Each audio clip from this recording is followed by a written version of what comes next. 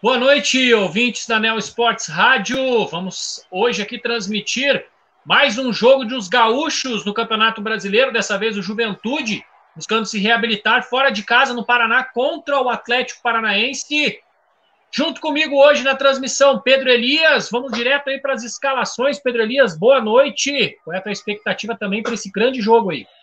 Boa noite, Gullies. É um jogo que vale muito para ambos os times, né? O Juventude querendo voltar a, a figurar ali na, na, parte central da tabela, fugir um pouco da parte de baixo, né? Sair da briga da zona do rebaixamento. O Ju que está a três pontos da zona da degola e quer usar essa partida como trampolim, mas o Furacão quer também se estabilizar melhor no campeonato, por mais que esteja poupando alguns nomes para a disputa da Copa Sul-Americana contra o Penharol no meio da semana que vem, na quarta-feira. Vou começar então com a escalação do time da casa. Vamos ver como é que vem o time do Furacão, o time do Atlético.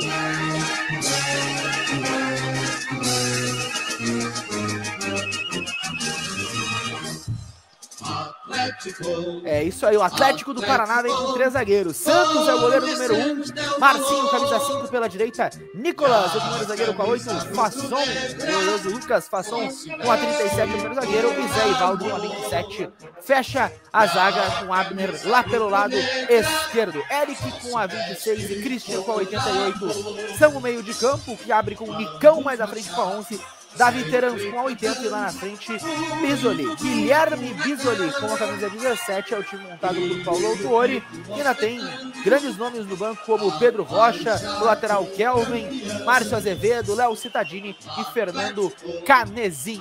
O time do Juventude, por outro lado, vamos botar aqui o, a sonora para a gente trazer o time de Caxias do Sul, tá aí do Juventude, o Ju vem com força máxima, tirando alguns desfalques aí que tem a equipe do Jaconeiro, né? Sem William Matheus e sem Matheus sem Marcos Vinícius, além, é claro, também sem o Wagner. O Juventude vem com Douglas Friedrich com a 32 no gol, Michel com a 88, Quinteiro com a 3, Mendes com a 34 e Rafael Foster com a 12, Castilho vem no meio com a 99, Jadson com a 16, Dauan é o 78, Capixaba com a 7, Paulinho Boia com a 11 e o 9 é Ricardo Bueno, o time do Marquinhos Santos hoje no jogo em Curitiba, Golias. Tá aí as duas equipes já escaladas aí, a escalação completa aí de Atlético Paranaense Juventude aí, passada aí pelo Pedro Elias, né? Já passou aí também a sua expectativa para esse jogo aí, o Juventude também visando se recuperar, o Internacional joga amanhã também, os dois gaúchos aí estão mais ou menos próximos na pontuação na tabela, temos jogos também amanhã Uh, para completar essa rodada. O Grêmio joga mais à noite, mas hoje é o Juventude que vai representar aqui o Rio Grande do Sul contra o Atlético Paranaense. O árbitro está determinando ali que as equipes vão se organizando dentro de campo. A gente vai vendo ali a roda ali do Juventude, do Atlético Paranaense. Uh, Pedro, o que, que tu acha aí dessa dessa pedida aí do Flamengo, que o Flamengo botou público no seu jogo contra o Grêmio? Você acha que já pode, já na tua opinião, público nos estádios aqui no, no, pelo Campeonato Brasileiro, por exemplo? Eu acho que foi uma medida um tanto egocêntrica do Flamengo, pode dizer assim, né? Afinal de contas, ele tinha uma liminar que dava permissão lá no Rio de Janeiro, né? A gente aqui do Rio Grande do Sul, não vou dizer como está ou não está lá no Rio, mas eu acho que não poderia, mas enfim. Mas eu acho que faltou um pouco de parcimônia, né? um pouco de empatia ao time do Flamengo e pensar que é, vários lugares do Brasil, a maioria dos lugares do Brasil ainda não tem condições de colocar público nos estádios devido à pandemia e pela isonomia do campeonato, seria interessante manter sem público todo mundo até que todos possam participar da festa, né, Guli? Senão fica injusto o Campeonato Brasileiro, mais do que ele já é naturalmente. Tá aí, apita o árbitro, a bola está rolando para Atlético Paranaense Juventude, Campeonato Brasileiro. Segunda rodada do retorno, Juventude vai buscando a sua Reabilitação no campeonato. Tentativa do Juventude já buscando ali no campo de ataque com o Michel. A bola sobrou para a equipe do Atlético Paranaense. Falta. O jogador do Atlético Paranaense ficou no chão. Chegou fazendo a carga ali o jogador do Juventude. A falta já cobrada. O Atlético tem pressa também aqui já para cobrar a falta. Camisa número 88, Christian. A bola está lá no campo de defesa com os defensores do Juventude. Volta a bola para o goleiro Santos. Marcado ali por Ricardo Bueno. Santos bate para o campo de ataque. Busca lá o jogador do Atlético Paranaense. Dominou muito bem lá pelo lado direito. O Marcinho, camisa número 5, vem chegando o Atlético. Vai tentando fazer a jogada. Vai brecando ali pelo lado esquerdo ali o Rafael Foster. Marcinho chuta em cima dele ali. Era o Vitor Mendes que estava por ali para fazer cobertura lateral para a equipe do Atlético. Um minuto e sete da primeira etapa, zero para o Atlético, zero para a equipe do Juventude. Cobrança, cobrança lateral da equipe do Atlético Paranaense. A bola está lá pelo lado direito. A bola sobra ainda para o Atlético. O Atlético vai tentando uma abafa já nesse início de jogo. Volta a bola mais atrás. A defesa do Atlético Paranaense. O Santos ali domina, recebe, sai distribuindo para o Nicolas. Vai passando o pé sobre a bola o Nicolas. Volta a bola atrás. O Lucas Fasson. Fala, Pedro. Não, só para trazer informação, né? Simultaneamente com esse jogo, a gente está tendo os instantes finais do enfrentamento dos verdes do Campeonato Brasileiro, né? A Chapecoense recebe o Palmeiras lá na Arena Condá e por enquanto vai dando porco. 2 a 0 para a equipe do Palmeiras, gols marcados por Luiz Adriano e Rafael Veiga. O jogo já está no final do segundo tempo, 41 minutos do segundo tempo, de 2 a 0 para o Palmeiras. Tá aí 2 a 0 para a equipe do Palmeiras. O Alviverde lá de São Paulo, vai vencendo aí a Chapecoense. Chapecoense que é a última colocada, né, Pedro? É, a Chapecoense última colocada no campeonato com apenas uma vitória, né? Uma campanha muito ruim lá do, do Índio Condá. A Chapecoense que é a vigésima com um total de gloriosos... Uh, é difícil aqui falar. Gloriosos 10 pontos em 21 jogos disputados e um saldo de menos 17. Olha, eu não me lembro de uma campanha tão ruim com 21 jogos dentro do Campeonato Brasileiro.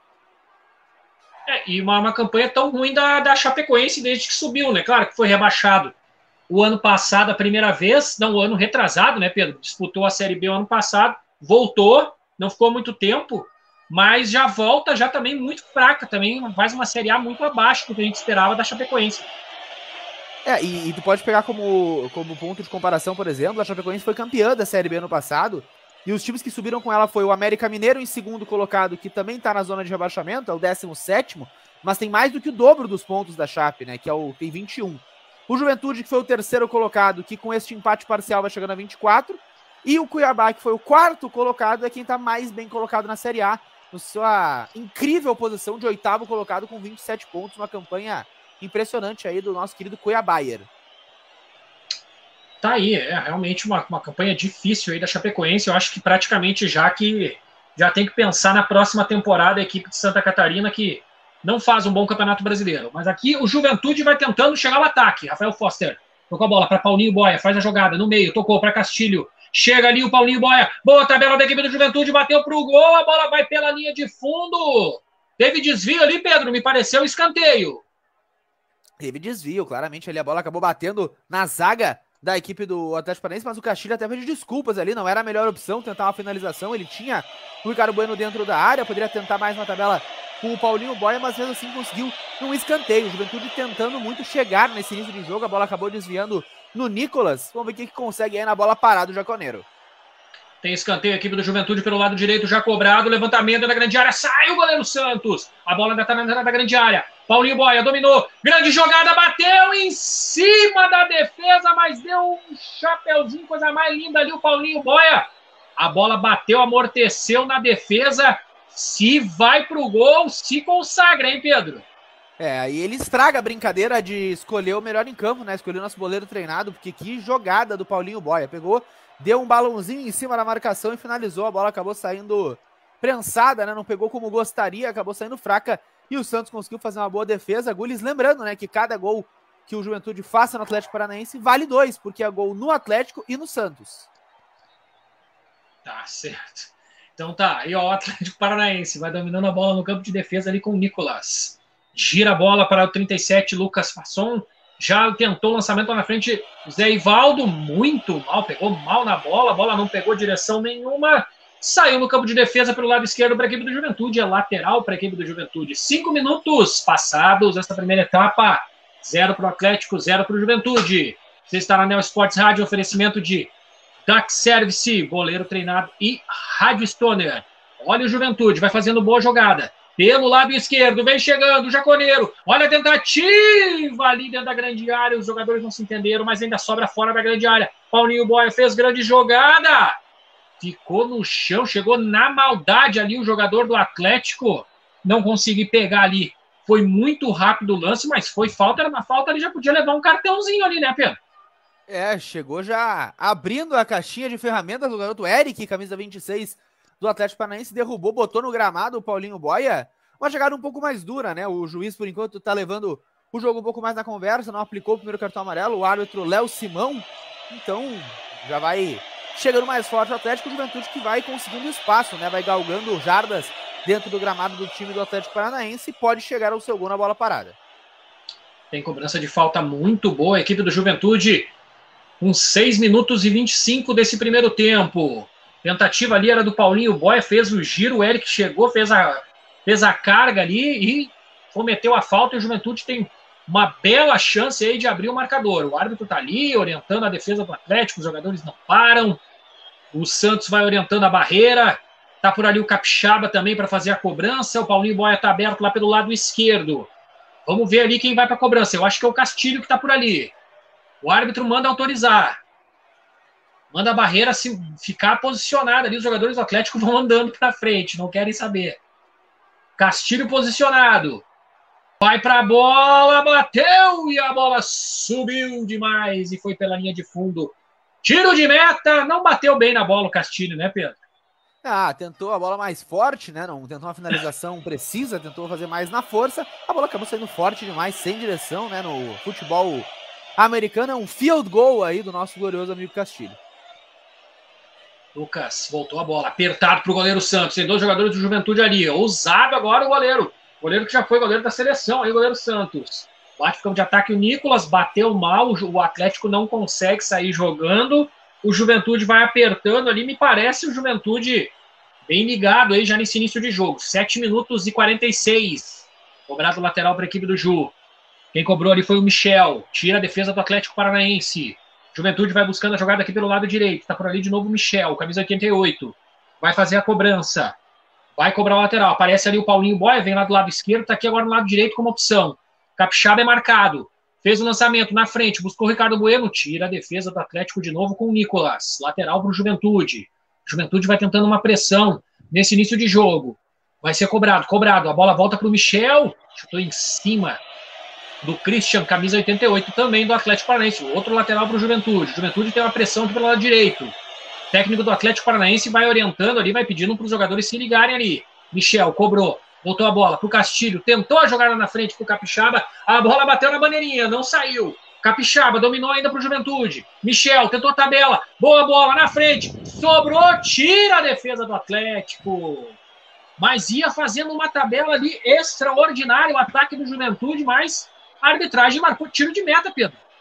É, a arbitragem deu que o último toque acabou sendo no Capixaba Foster estava ali por ali também para participar da jogada, mas chega bem o Juventude, né? Não tem medo, não se intimida por estar jogando fora de casa na Arena da Baixada, né? Com grama sintética e todos os detalhes que fazem a casa do Atlético Paranaense ser um fator tão forte para o time da casa. O Juventude não se intimida, vai para frente, faz o seu jogo. Marquinhos Santos postou a equipe de forma avançada com dois jogadores marcando alto a defesa do Atlético Paranaense. Por enquanto o Juventude vai ter uma atuação muito melhor por aqui.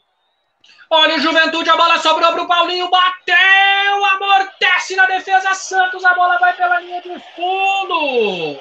O Juventude marca em cima, o Juventude vem chegando, a bola desviou no zagueiro, o Santos não conseguiu dominar a primeira, a bola sai pela linha de fundo, é escanteio para o Juventude, Pedro. É, escanteio mais uma chegada boa por ali da equipe do Juventude, estava posicionado por ali o Paulinho Boia mais na finalização. O Juventude claramente mais interessado no jogo. Capixaba levantou, olha o desvio, a bola sobrou lá do lado esquerdo, Castilho, a bola vai pela linha de fundo, é tiro de meta pro Atlético. Pegou mal o Castilho na bola ali, mas o Juventude vai apertando, vai apertando essa saída de, de, de bola do Atlético Paranaense. Nitidamente o Atlético tem dificuldade para sair jogando e se infiltrar na defesa do Juventude até aqui, né, Pedro?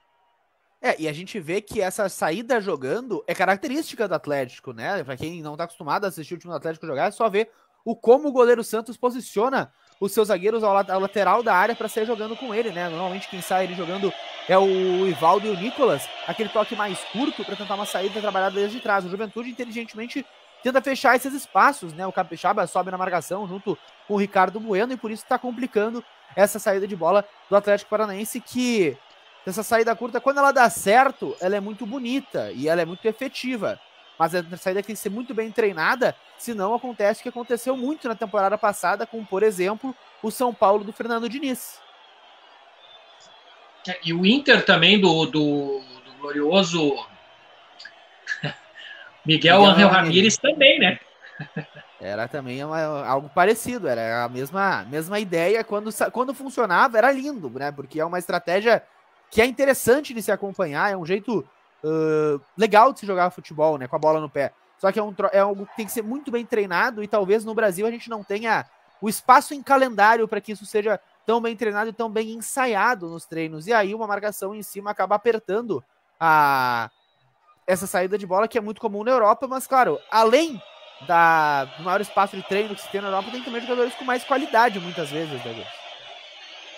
É, eu também eu agrego isso também, Pedro. Eu acredito que não é somente o treino, né? Também os jogadores têm que ter assimilação também do que, que é que o treinador quer e também um pouco de qualidade também, porque senão não adianta, né? O, o, por exemplo, a gente viu o próprio Abel levando o Inter ao vice-campeonato brasileiro, jogando o feijãozinho com arroz, né? Olha aí, vem chegando o Juventude. Pelo lado esquerdo, Castilho vai fazendo a jogada para cima da marcação do Ivaldo. Vai fazer a jogada, puxou para o meio, bateu para o gol, busca o ângulo, a bola vai pela linha de fundo. Chega de novo o Juventude, agora rápido aqui pelo lado esquerdo. A tabelinha ali com o Dauan, sobrou para o Castilho, ele abriu, chutou e a bola foi pela linha de fundo, é tiro de meta. Mas que eu estava falando, né, Pedro? o, com o Inter ali, o Abel botou, ah, vamos jogar um feijãozinho com arroz. Foi longe o Abel, né? Exatamente, né? E pro torcedor colorado que está nos acompanhando, eu tenho uma lembrança triste, mas muito feliz, por exemplo, pro torcedor do Furacão, que está vendo seu time em campo. Há dois anos, no dia de hoje, no dia 18 de setembro, o Furacão vencia por 2 a 1 no Beira Rio e se sagrava campeão da Copa do Brasil com gols de Rony e de Léo Cittadini, esse que está sentadinho no banco acompanhando o jogo hoje. É, o, o Rony que depois, com a sua grande, as suas grandes atuações pelo Atlético Paranaense, foi parar no Palmeiras, né? Exatamente, para o Palmeiras, inclusive, para tratar essa informação, fim de papo lá na Arena Condá, 2 a 0 para o Palmeiras, jogo finalizado, gols de Rafael Veiga e Luiz Adriano. Rafael Veiga, o meu capitão do Cartola hoje. Tá aí, então finalizado já. O Palmeiras vence a Chapecoense, vai empurrando cada vez mais a Chape para a segunda divisão em 2022. Realmente uma situação muito, muito complicada da equipe de Santa Catarina. O Atlético vai trocando passo no campo de defesa. A tentativa lá na frente era com o Nicão, tira a defesa do Juventude, ficou um jogador do Juventude no chão. Rafael Foster está por ali. Pedro, quando quiser, pode passar aí pelo menos os 10 primeiros do Campeonato Brasileiro para os nossos ouvintes aí. Vamos passar então, né? Já que teve vitória do Palmeiras, o Palmeiras que tá nessa, nessa condição, né? Entre os melhores times do campeonato quando tem falta. Agora marcada do Nicão ali em cima do Rafael Foster, botou no gramado o capitão do Juventude que fica reclamando por ali. Um jogo que até aqui é de muito contato físico, né? O Nicão acabou fazendo a famosa cama de gato ali, derrubando o Rafael Foster. Como eu já falado, o Palmeiras é o segundo colocado, atrás do Atlético Mineiro. O Atlético tem 42 pontos, o Palmeiras tem 38, o Flamengo tem 34 e o Fortaleza, né, o Leão lá do Nordeste do Voivoda, tem 33 pontos. O quinto é o RB Bragantino, o sexto é o Corinthians, o sétimo Fluminense, o oitavo é o Cuiabá, o nono é o Internacional e o Atlético Goianiense é o décimo colocado. Com este empate, o Atlético Paranaense é o décimo primeiro com 25, Ceará e Juventude tem 24 na décima segunda e décima terceira posição, respectivamente. O Santos, não o goleiro, o time, está caindo para a 14 posição. O Bahia é o 15. São Paulo é o 16. América Mineiro abre a zona de rebaixamento com 21 pontos, é o 17. O Grêmio é o 18 com 19 pontos. O Sport Recife tem 17, é o 19. E a Chapecoense tem 10 pontos, é o 20 colocado. E como diria um comentarista aqui da região sul, falta só colocar um algodão no nariz. então tá, né? Falta ali para a equipe do Juventude na intermediária de defesa em cima do Dauan, já cobrada. Sai jogando a equipe do Ju. Vitor Mendes domina a bola, passa o pé sobre a bola. Os jogadores do, do Atlético Paranaense marcam a distância. Chega lá apertando o Unicão. Boa jogada ali, sobrou Paulinho Boia na frente, mas a bola tinha saído. É lateral para a equipe do Atlético Paranaense fazer a cobrança no campo de defesa. 15 minutos e 34 da primeira etapa, 0 a 0 O Juventude chegou mais. O Atlético vai tentando chegar envolvendo as jogadas pelo lado, pelos lados do campo, mas o Juventude está mais ligado. O Capixaba roubou a bola, tentou puxar o contra-ataque, ficou no chão ali, falta em cima do Capixaba, Pedro. É, botaram no chão ali o Capixaba, acabou sendo derrotado no, no, na briga de corpo. Passou de forma desleal, que chegou por ali o, o Nicolas, camisa número 8, fazendo a falta. Já tá ali não muito satisfeito com a situação do teu time, o Paulo Autuori no banco de reservas, e é perceptível, né, que o Atlético não tá conseguindo impor o seu estilo de jogar, né? Um time que normalmente uh, utiliza demais da, do seu fator casa, principalmente do gramado, que faz com que a bola corra mais rápido, eles têm mais o ritmo da bola, mas o Juventude tá pressionando e não tá deixando o Atlético trocar passes com aquela naturalidade que a gente está acostumado. Pode ser também devido ao fato de que alguns homens fundamentais nessa troca de passes estão sendo poupados para o jogo da Sul-Americana contra o Penharol, como eu já tinha citado, o caso do Léo Cittadini, que está no banco de reservas no jogo de hoje, no time do Furacão. Tá aí as informações com o Pedro e o Juventude roubou a bola, o chute lá no meio de campo, mas não teve muita força. Dauan roubou a bola ali na intermediária, ali o Juventude vai apertando ali a saída de bola da equipe do Atlético, chutou para o gol, ficou fácil para o goleiro Santos. Bola está aqui no campo de defesa agora para a equipe do Atlético Paranaense. Lucas vai dominando, passa o pé sobre a bola, gira, volta aqui para o lado esquerdo para o Nicolas. Vai tentando sair jogando pelo lado esquerdo a equipe do Atlético. Levantou na frente, tentou desviar a bola de Unicão. Boa bola, sobrou na frente para a equipe do Atlético. Vem chegando em alta velocidade. Olha o Atlético Paranaense, vai chegando, chuta em cima da defesa. Chuta em cima da defesa. O Juventude se escapa de levar o primeiro. Não estava impedido. Primeira boa chegada da equipe do Atlético, Pedro. É, agora a chegada foi boa por ali, né? O Terans acionou o Christian lá pelo lado direito, mas o Rafael Foster se jogou na frente da bola e nem precisou. O Christian furou ali, acabou mandando a bola muito para fora, acabou recebendo apenas um tiro de meta de graça o Juventude, um erro estranho ali do atacante Christian da equipe do Atlético Paranaense não vai muito bem no ataque por aqui. O Juventude tem um domínio mais tranquilo do jogo, mas é aquilo que a gente falou, né? O Atlético conhece os atalhos do seu estádio, é um time que é muito forte em casa, qualquer bola pode ser perigosa, principalmente no pé do camisa 80, Davi Teranzo, um grande jogador, um grande achado da equipe do Furacão nesse campeonato. Olha o Marcinho tentou o cruzamento para dentro da grande área, tira a defesa do Juventude. Paulinho Boia tenta recuperar, mas volta de novo para o Atlético lá no campo de defesa com o Lucas. Está jogando com o Nicolas, lado esquerdo de defesa da equipe do Atlético, 18 minutos passados. O Atlético agora vai gostando do jogo. Tentativa ali, fez a proteção. O jogador do Atlético ficou no chão, ali era o Bisoli ficou no chão, falta do Quinteiro, é falta boa pro Atlético, Pedro. É falta boa pro Atlético, né? O Quinteiro, o colombiano, acabou derrubando o Bisoli por ali na entrada da área. O goleiro Douglas já se preocupa porque o Atlético tem bons finalizadores, né? O Abner pega bem na bola para tentar um levantamento. O Davi Terança é um bom finalizador de fora da área, inclusive fez gol contra. Agora não foi contra o Inter ou contra o Grêmio, mas acho que foi contra o Inter na Arena da Baixada. Realmente é, é complicado, né, de parar o Atlético Paranaense na falta. Está muito preocupado o goleiro do Juventude. A falta já está marcada na intermediária. Tem falta para a equipe do Atlético, lado esquerdo de ataque. Tá por ali, camisa número 88, Christian. Ele mesmo, Pedro. É isso aí, Christian está posicionado para fazer o chute direto e também tem o Abner ali para se for tentar o levantamento. Três homens do Juventude na barreira. Tá por ali o Atlético Paranaense, tá, o, árbitro tá orientando ali a barreira, vai se posicionando ali, vai ter levantamento, levantou, bateu! Bateu muito mal na bola, não, não foi um cruzamento, não foi um chute. O que, é que foi isso aí, Pedro? Isso aí foi um tiro de meta, de presente para a equipe do Juventude, foi muito mal. Agora, o Cristian na finalização, ele tentou um cruzamento por baixo ali para dentro da área, para a passagem dos atacantes do Atlético, que não estavam esperando, estavam esperando a bola por cima, ela foi mais rápida do que eles estavam pretendendo. Alguém faltou ao ensaio e a jogada acabou apenas em tiro de meta para o time do Juventude. Desperdiça a chance de Furacão. Nicão dominou a bola, lado direito de ataque para a equipe do Atlético. Sobrou a bola no meio. Vem chegando o Atlético Paranaense. Bateu para o gol. Douglas! Douglas espalma pela linha de fundo. A grande chegada do Atlético. Para manter o Juventude ainda na disputa. Fez uma grande defesa. Pedro, que chegada do Atlético e que defesa do goleiro Douglas. É, eu falei, ele é muito perigoso. Davi Terans por ali na entrada da área finalizou. O Douglas teve que se esticar muito para pegar essa bola. E a gente dizia, né? O Juventude estava fechando a, os, a troca de passes do Atlético lá no seu sistema defensivo.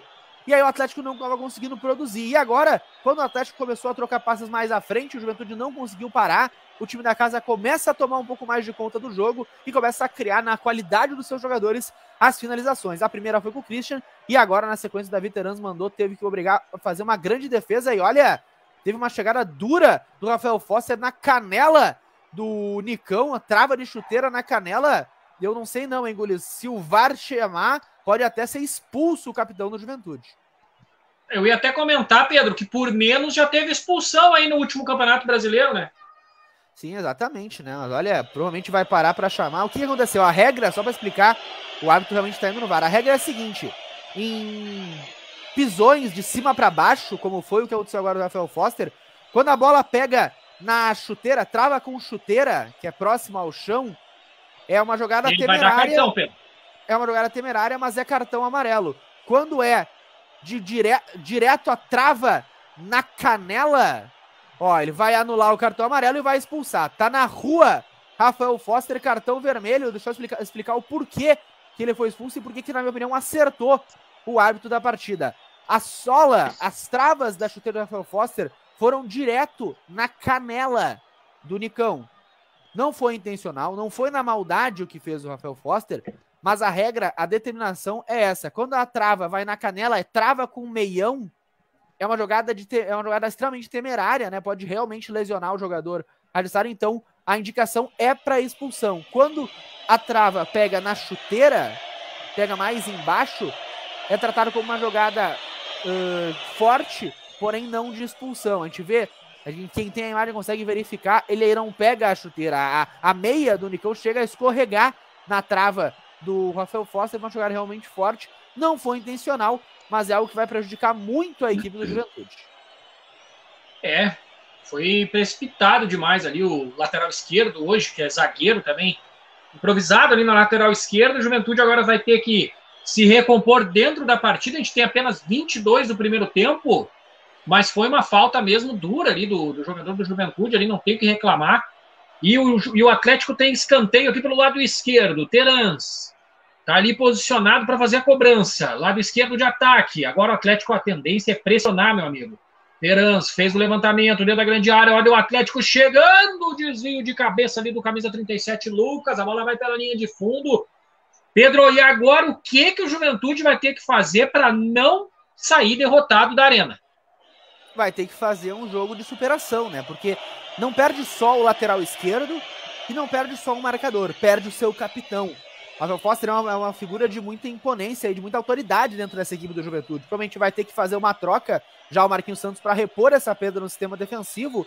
E aí, além de ter que repor um jogador, vai ter que repor o seu capitão. Realmente, isso vai pesar muito pro Juventude. Eu acho que vai precisar depender muito mais da, do empenho coletivo do Juventude agora do que numa jogada individual. O que o Juventude pode fazer para sair com a vitória? Se segurar e tentar uma jogada no contra-ataque, na velocidade, por exemplo, do Paulinho Boia ou até do Capixaba. Mas eu acho que o mais correto seria reorganizar o sistema defensivo e tentar ir pelo menos para o intervalo com esse 0 a 0 no placar, para poder se rearmar no intervalo. Pelo lado do Atlético, agora é a hora de botar a pressão, pegar os bons jogadores que tem o Furacão, como por exemplo o Nicão, como por exemplo o próprio Davi Terans e tentar apertar a equipe do Juventude, que tem um homem a menos, e quando a bola estiver com o Atlético, sempre vai ter um jogador livre, jogar com um pouco mais de inteligência, o Atlético pode achar um gol. Agora é a hora que tem que entrar o treinador em ambos os lados. O Marquinhos Santos para tentar armar rápido o Juventude e impedir a ação do Atlético, e o Paulo Autuori para tentar se aproveitar já dessa superioridade numérica que tem o time da casa. Vem chegando o Atlético pelo lado, esquerdo, pelo lado direito. O Nicão fez o cruzamento, tira a defesa do Juventude. Agora vai ser pressão do Atlético. O Atlético domina a bola no meio. Lucas abriu a bola na direita para o Marcinho, fez o cruzamento. Olha o Atlético chegando. Sai o goleiro Douglas, faz a defesa. Eu vi o Alisson ali aquecendo, é o lateral esquerdo aí que jogou várias partidas pelo Juventude no Gauchão. Vai, vai, vai entrar o lateral esquerdo. Quem será que ele vai tirar, Pedro?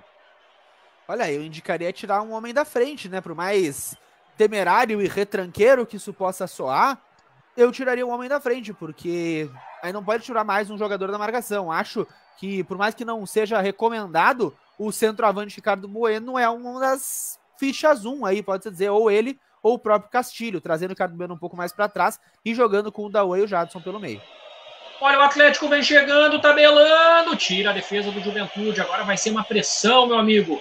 25 minutos desse primeiro tempo. Agora o Atlético está com um jogador a mais. Teve o Rafael Foster que foi expulso.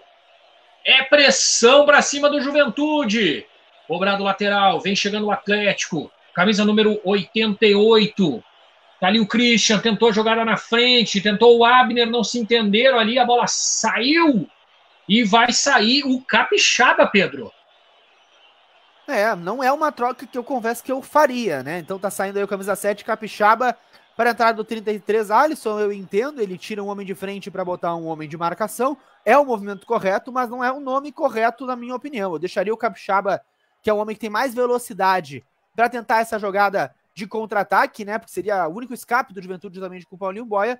Ele optou por deixar o centroavante, né, o Ricardo Bueno, talvez até pensando em tentar uma jogada de bola parada mais à frente. São as opções que o Marquinhos Santos tem, claro, não é o que eu faria, mas eu entendo, né? Uma medida desesperada para uma situação desesperada, Guilherme.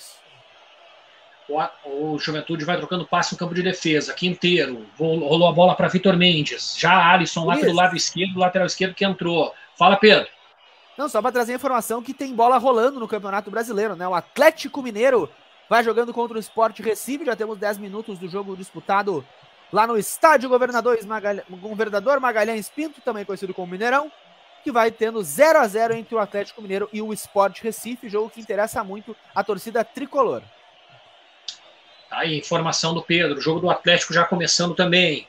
Aqui o Atlético Paranaense vai tentando a pressão, 27 minutos com 30 segundos desse primeiro, desse primeiro tempo. Olha o Marcinho, boa jogada, vai fazer o levantamento de perna esquerda, tira a defesa do Juventude, sobra a bola na entrada da grande área, recupera o Quinteiro, vai tentar puxar o contra-ataque, não consegue, bola na frente, recupera o Atlético no campo de defesa aqui do lado esquerdo, a bola volta lá atrás para o goleiro Santos, já sai jogando com o Lucas. No meio, tocou a bola para o Eric, fez o giro aqui do lado esquerdo, jogou errado, sobrou a bola para o Juventude, Paulinho Boia está aqui agora pelo lado direito, mudou o lado, daqui a pouco eu vou acionar o Pedro aí para ver o que, que, será que agora vai fazer o Juventude, que agora o Paulinho Boia era lá pelo lado esquerdo e agora está aqui no meio, quase junto com os volantes. Tenta sair jogando Juventude. Vai saindo ali pelo, pelo campo de defesa com o Jadson. Abriu a bola lá na esquerda. Alisson vai puxar o contra-ataque. Castilho dominou a bola para o Juventude. No meio. Para. Gira a bola. Lado direito de defesa. Quinteiro. Pedro. E essa movimentação agora, essa troca aí, o Paulinho Boia no meio. É, como eu falei, né? O homem que vai ser responsável por puxar o contra-ataque. Afinal de contas, ficou como o único velocista, entre aspas, da equipe do Juventude no campo de ataque, né? O companheiro dele de contra-ataque de velocidade era o, Capixaba. Sem ele, em vez de colocar um de cada lado, ele centraliza o jogador de mais velocidade, deixa o Castilho para tentar uma jogada de passe em profundidade para o próprio Paulinho Boia ou para o posicionamento do Ricardo Bueno. É uma jogada que vai ter que fazer o Juventude, né? Afinal de contas, nunca é interessante tu ficar com 10 homens em campo, principalmente no primeiro tempo. Vai ter que correr muito tempo com um homem a menos o time do Ju. Willi, só para dar informação, né? A gente que acompanha os times gaúchos, o Brasil de Pelotas já está em campo jogando contra o Goiás na Série B. O Goiás que é o vice-líder vice da Série B até aqui e o Brasil de Pelotas que é o lanterna. Precisa urgentemente de recuperação. O jogo é lá em Goiânia, então um jogo difícil para o Brasil. Vamos ver se consegue sair dessa situação a torcida Chavante, que nesses últimos anos vem alimentando uma rivalidade bem forte com a torcida jaconeira do Juventude. Pedro, já que falou da Série B aí, que os grandes na Série B aí estão em que posição no campeonato? Pois então, né? Os times mais tradicionais, como a gente pode dizer assim, a gente tem de cima para baixo o Botafogo, que com a vitória que tá tendo, que teve já nesse meio de, meio de tabela, tomou a vice-posição de líder do Goiás, é agora o segundo colocado. A gente tem o Vasco na décima colocação e o Cruzeiro na décima terceira, né? Não é um grande campeonato para os times mais tradicionais, pode-se dizer assim, né? E só para destacar o rebaixamento do Santa Cruz e do Paraná, da Série C para a Série D, que foi confirmado hoje. Então a gente tem aí dois times que foram rebaixados para a Série D. O Paraná, que tem uma queda livre nunca antes vista no, no Campeonato Brasileiro, né? Ele caiu da Série A para a Série B, para a Série C, direto para a Série D. Uma queda vertiginosa do time da capital do Paraná, rival do Atlético Paranaense. Pois é, o Paraná que nos anos 90 incomodou muitos times grandes, principalmente o Internacional. Olha, o Atlético vai chegando. Paraná que incomodou muito os grandes nos anos 90, Pedro. Foi vice-campeão da, da, da extinta Copa Sul contra o Grêmio. Era um time muito chato de se enfrentar. Foi até ali a primeira início da, da primeira década dos anos 2000, incomodando muito e realmente o Paraná não conseguiu mais se reabilitar para incomodar os grandes do futebol brasileiro. Paulinho Boia, boa jogada. Olha o Atlético, vai puxando, tentou chutar do meio de campo. O que, que o jogador do Juventude quis fazer ali, Pedro? Ah, ele tentou fazer o gol que o Pelé não fez, mas se o Pelé não fez, ele também não fez, né? O Ricardo Bueno mandou a bola muito longe do gol. Era o Paulinho Boy ali no melhor cabelo super saiadinho, tentando surpreender o goleiro Santos. Ele viu o Santos um pouco fora do gol, mas a finalização foi completamente torta, não teve muito o que fazer. E agora, com o tiro de meta, quem dá bola é o Santos. Olha aí, a bola tá com a equipe do Juventude, Quinteiro aqui no campo de defesa. Vai tentando puxar o Juventude pro campo de ataque. Michel tentou a jogada na frente, dominou de costas para marcação. Ricardo Bueno perdeu a bola, recupera a equipe do, do Atlético. A bola no meio, com o Terans. Vai tentando puxar o contra-ataque a equipe do Atlético. Passou o círculo central. Tá por ali o Abner, inverteu lá na direita para o Marcinho, vai fazer o cruzamento, levantou na grande área, desviou ali o jogador do Atlético para ninguém, recupera a equipe do Juventude. Tenta fazer uma jogada de efeito ali o Paulinho Boy, agora vai tentar puxar o contra-ataque, botou a bola na frente, puxou muito para o lado direito, a bola corre demais no sintético, saiu, é lateral para a equipe do Atlético Paranaense fazer a cobrança, já cobrado. Tá por aqui o Atlético, vai tentando fazer a jogada. Olha o Atlético chegando, desvio do Nicão, a bola vai pela linha de fundo. Tava chegando por ali, o Christian fez um cruzamento. O Nicão chegou, deu um peixinho, não estava impedido. Olha o Juventude marcando bobeira aí, Pedro. É, agora marcou bobeira, né? Ninguém marcou o Nicão. O Alisson, que ainda tá meio desembocado, acabou de entrar, não acompanhou o camisa número 11 do Atlético, que entrou cabeceando livre dentro da área ele acabou pegando mal, não conseguiu dar direção à bola, ela acabou passando ao lado do gol do goleiro Douglas Federich, mas realmente levantou um U aí da torcida do Furacão, mais uma chegada boa, o Juventude que parece que ainda não se organizou depois de perder o seu capitão, né, o Rafael Foster, está tentando se entender na partida, já chegamos aos 33 desse primeiro tempo. Tira a bola aqui do Atlético, o zagueiro Lucas, responde ali o Nicolas, toca a bola lá para frente, tenta a bola, o Atlético Paranense chega ao ataque, Olha o Quinteiro ali protegendo a bola para o Douglas, ali quase se complicou com o camisa 17 Bisoli. Está jogando a equipe do, do, do, Juventude. Campo de defesa, Vitor Mendes. Volta a bola para o goleiro Douglas.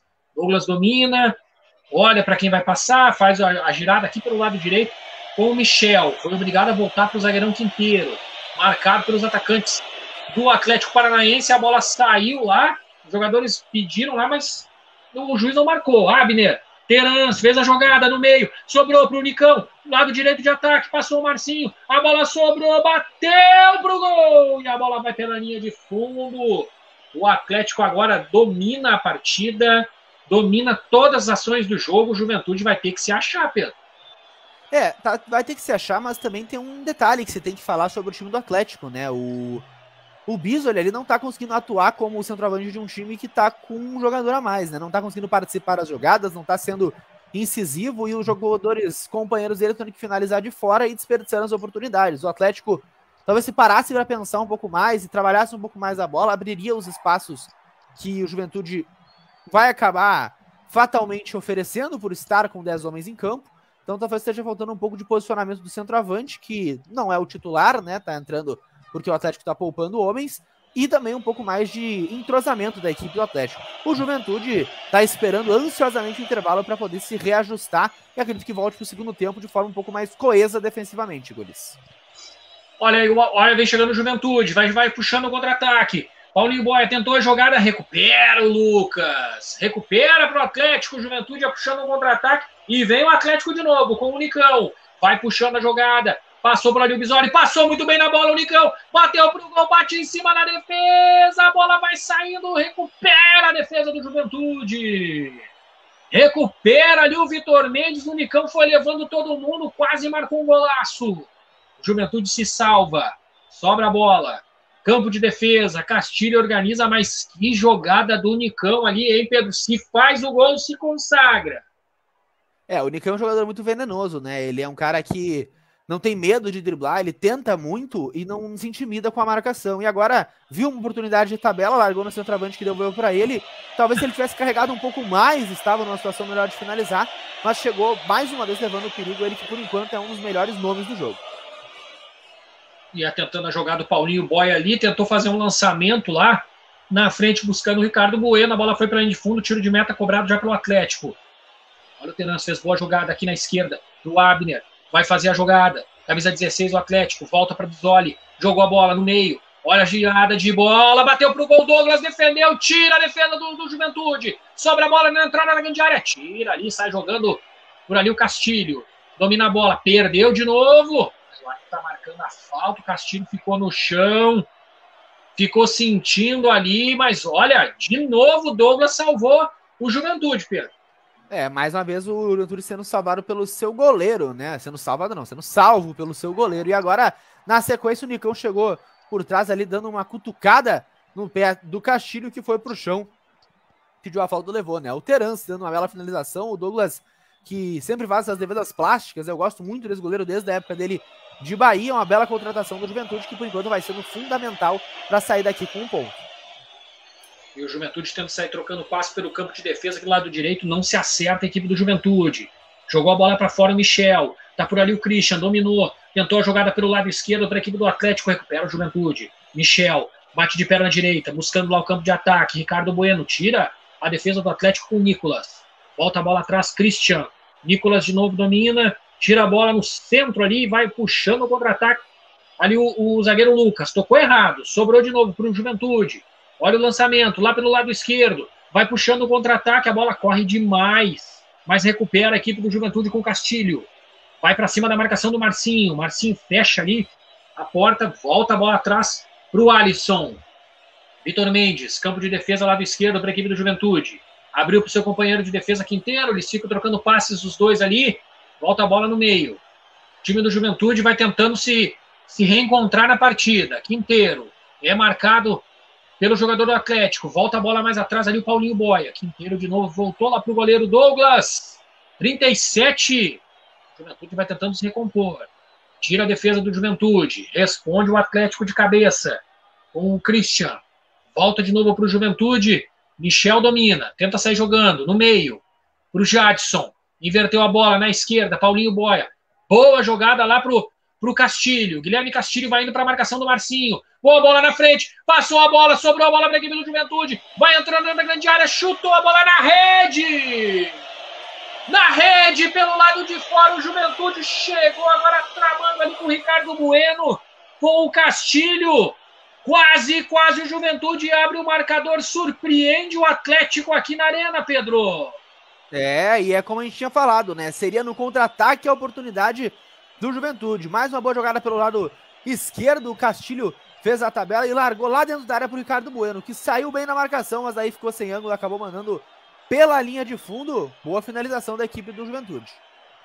Juventude chegou, deu um susto no Atlético. O Atlético ia tramando, vai tentando tramar as jogadas.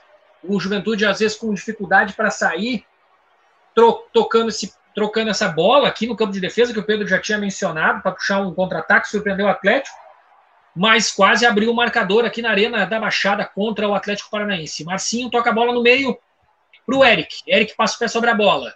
Abriu para o camisa número 88, Cristiano. A bola já está com o Nicolas aqui pelo lado esquerdo de ataque para o Atlético. Bola no meio de novo. Eric inverteu. Boa bola lá do lado direito para o Marcinho. Dominou, marcado pelo Alisson. Botou a bola no meio. Olha o Nicão. Recebeu na frente. Olha o Bisoni. Chutou em cima do Vitor Mendes reclama com a arbitragem, com bandeirinha ali, mas está marcando tiro de meta. Na minha opinião, era escanteio, mas. E aí, Pedro? É, o Bisoleiro chegou perto da marcação, o Juizão também está confirmando a marcação do Bandeira, tiro de meta. Ele acabou finalizando em cima da zaga do Juventude, né? Quem estava posicionado para fazer a marcação dele era o Alisson, mas a bola acabou estourando por último nos pés do centroavante, pelo menos é o que diz a arbitragem. 40 minutos já jogados desse primeiro tempo, de por enquanto 0 a 0 entre Atlético Paranaense e Juventude, só para dar uma passada nos placares, né? O Palmeiras venceu a Chape por 2 a 0 mais cedo e lá no Mineirão, por enquanto, vai empatando em 0 a 0 Atlético Mineiro e Esporte Recife. Olha o Atlético chegando, o Nicão jogou a bola atrás, passou pelo Bisoli, tira a defesa do Juventude. O Atlético vai pressionando nesse final de primeiro tempo. 40 minutos. A bola no meio para a equipe do Atlético. Com o zagueirão Lucas. Inverteu para o Nicolas. Sai jogando o Atlético. Tá aqui no lado esquerdo com o Abner. O Atlético já tá todo no campo de ataque. A bola no meio. Sobrou ali no meio.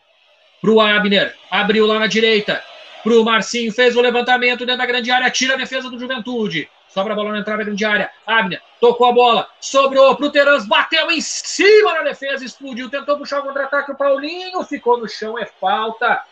O Atlético vai pressionando, pressionando. Olha, respira agora a defesa do Juventude, hein, Pedro?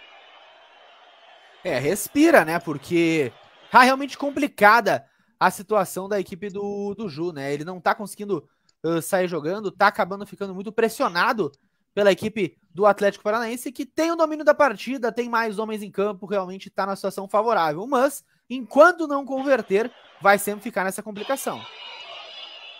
Tem falta para cobrar ali a equipe do Juventude. Tá por ali o goleiro Douglas. Bate buscando o campo de ataque de perna direita. Vai tentando a jogada aqui no lado direito de ataque com o Ricardo Bueno. Dominou a bola pro time do Juventude. Domina Paulinho. Volta a bola atrás. Jadson. Voltou mais atrás para o Quinteiro. Recebeu de novo o Jadson, lado direito. Juventude vai tentando puxar o contra-ataque. Domina a bola ali, da One. Tocou boa bola na frente para o Paulinho. Bateu para o gol. Castilho! Olha, essa bola pegou um efeito danado ali. Quase surpreendeu o goleiro Santos, hein, Pedro?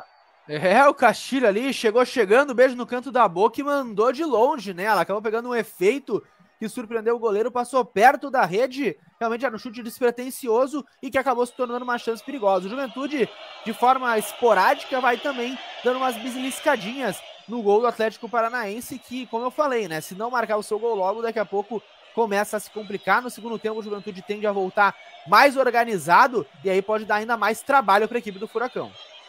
Olha o Atlético chegando, o Bisoli dominou, bola chutada pela linha de fundo. Tiro de meta para a equipe do Juventude. A bola ficou pingando ali na entrada da grande área do Terans. Girou de perna esquerda, bateu, mas sem direção. O Atlético gostou do jogo, principalmente, né, Pedro? Depois da expulsão ali do, do Rafael Foster, né? E agora, como tu mesmo vem mencionando, o Juventude precisa se recompor. E eu acho que estão torcendo para o final desse primeiro tempo aí para o treinador dar uma conversada com os jogadores. É, e por mais que o número de finalizações seja muito parelho, né? Tem 11 finalizações do Atlético contra 10 do Juventude. Uh, isso é muito de antes da expulsão do Ravel Foster, em que o Juventude realmente tinha um domínio quase completo do jogo. Depois da expulsão, o Juventude realmente ainda não conseguiu se achar perfeitamente, ainda não conseguiu azeitar a máquina defensiva como provavelmente vai estar no segundo tempo, mas tá também na base da vontade, parando os ataques do Atlético Paranaense e se sustentar esse 0 a 0 pro segundo tempo, a segunda etapa tende a ser muito mais difícil para a equipe da casa do que está sendo a primeira. Então, se o Furacão não abrir o placar agora, pode ser que no segundo tempo seja tarde demais.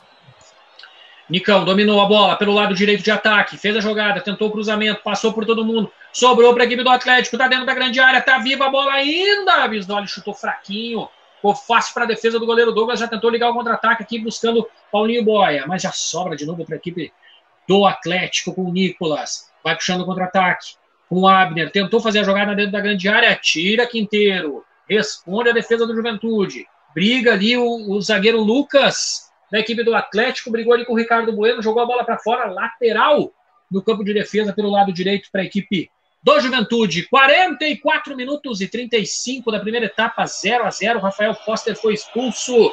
Você está na Neo Sports Rádio no oferecimento de Dax Service, goleiro treinado e Rádio Stoner.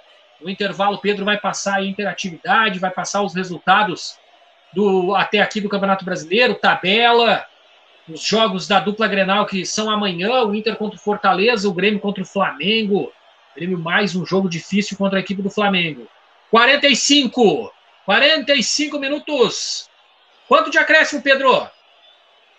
É, o juizão aí, pelo visto, não vai se estender demais. Três minutos de acréscimo, acredito que pela situação aquela com o VAR na hora da expulsão, acho que tá bem dado. Três minutos aí, vamos até os 48, Gulis. Então tá bom, até 48 desse primeiro tempo, o Marcinho vai tentando puxar o contra-ataque para a equipe do Atlético. Vamos até 48. Marcinho já tá lá no campo de ataque. Como a bola rola rápido. No sintético. Nicão puxou para o meio, para a perna esquerda, jogou dentro da grande área, para o Bisoli, sobrou a bola para o Nicão, bate, explode na defesa do, do Juventude. Sobra a bola para o Eric, de novo com o Nicão, abriu a bola, bateu para o gol, e a bola subiu demais e foi cair lá no Couto Pereira, Pedro.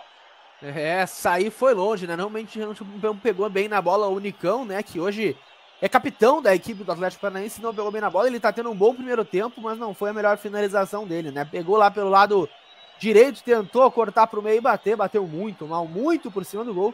E agora a gente tem aí um tempo para dar aquela segurada, porque tomou ali uma bolada nos Países Baixos o defensor do, do Juventude. Todo mundo se solidariza com a dor do, do garoto ali, o camisa número 16, o Jadson ali do Juventude tá realmente sentindo muitas dores. É aquele, aquela cabeçada acidental, né, Golis? Exatamente, exatamente. Douglas vai recompor a bola em campo. 46, quase 47. A bola disputada lá na frente do Ricardo Bueno com o Nicolas, centroavante ali do, do, do, do Juventude.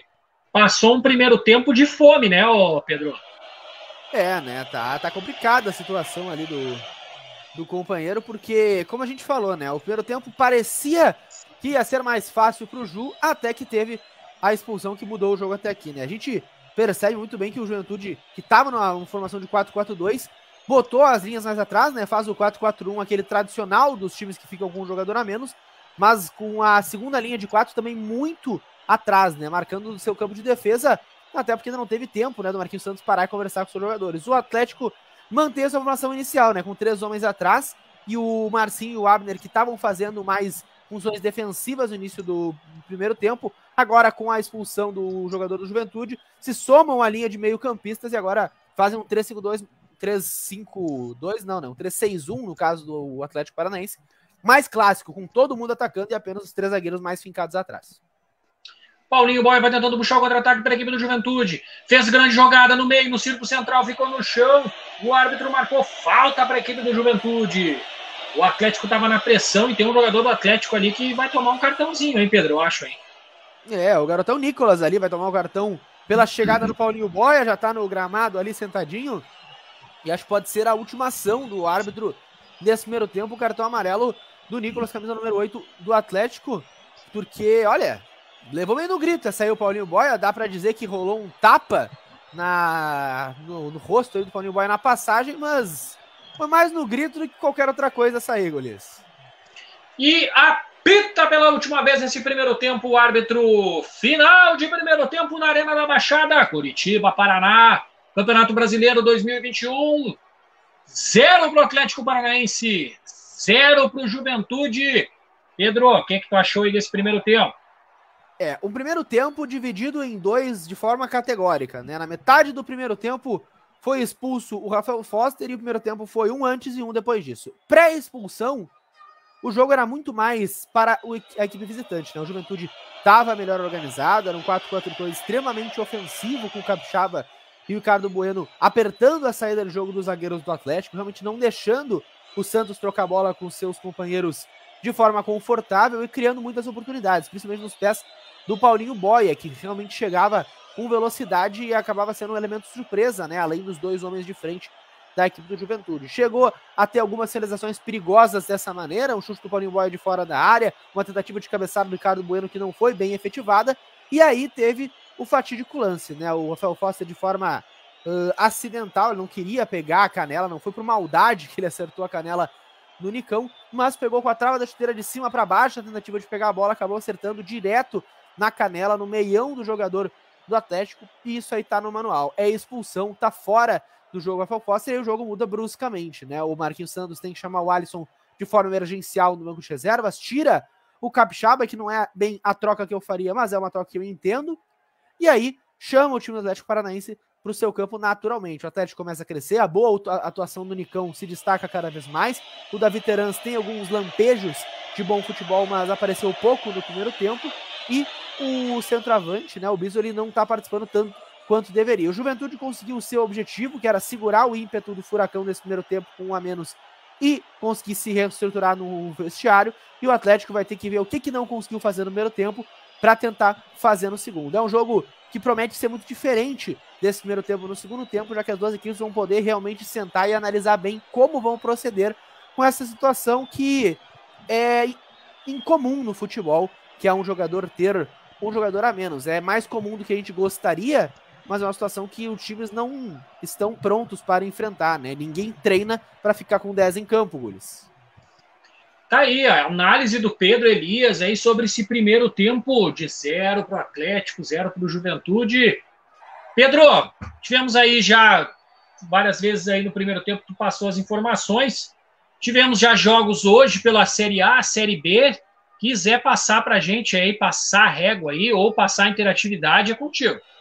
É, eu vou passar exatamente porque teve gol nesse momento na, na, na partida do Atlético Mineiro, né? O Diego Costa, né? Gol com sotaque espanhol, o atacante espanhol Diego Costa, brasileiro naturalizado espanhol, que joga pela equipe do Galo, abre o placar 1 a 0 para o Atlético Mineiro sobre a equipe do esporte, um resultado que é muito bom para o Grêmio, né? Que com esse resultado vai deixando o esporte cada vez mais perto da Chapecoense e da Série B e vai tirando um adversário nessa briga para fugir do rebaixamento. Vamos passar já, além, claro, do jogo do Atlético e do esporte, também tivemos a vitória do Palmeiras mais cedo por 2 a 0 Vamos passar como é que fica a tabela com esses resultados parciais, até já para a gente projetar os jogos de amanhã. O Atlético, que era líder, fica ainda mais líder com 45 pontos com essa vitória parcial. Palmeiras tem 38 é o segundo. Flamengo é o terceiro com 34. Fortaleza é o quarto com 33. Bragantino com 32 é o quinto. Corinthians é o sexto com 29.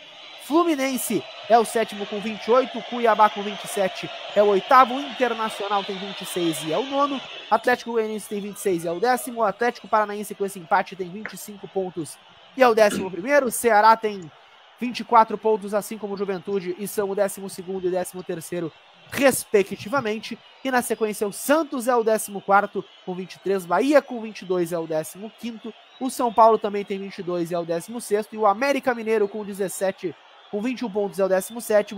Grêmio com 19 é o 18. O Sport Recife, agora perdendo com 17 pontos, é o 19. E a Chape com 10 pontos é a lanterna do campeonato. Por isso eu queria só fazer um destaque. Claro que a rodada ainda está em andamento, tem muitos jogos para acontecer, mas só para tu ter uma informação. A distância do sexto colocado, lembrando que a gente já teve um turno completo do campeonato uh, brasileiro e mais um jogo, né? Então nós já estamos na 21 primeira rodada do campeonato. O Corinthians é o sexto colocado, o último clube que hoje estaria indo para a Copa Libertadores. O América Mineiro é o primeiro time que estaria sendo rebaixado, é o 17.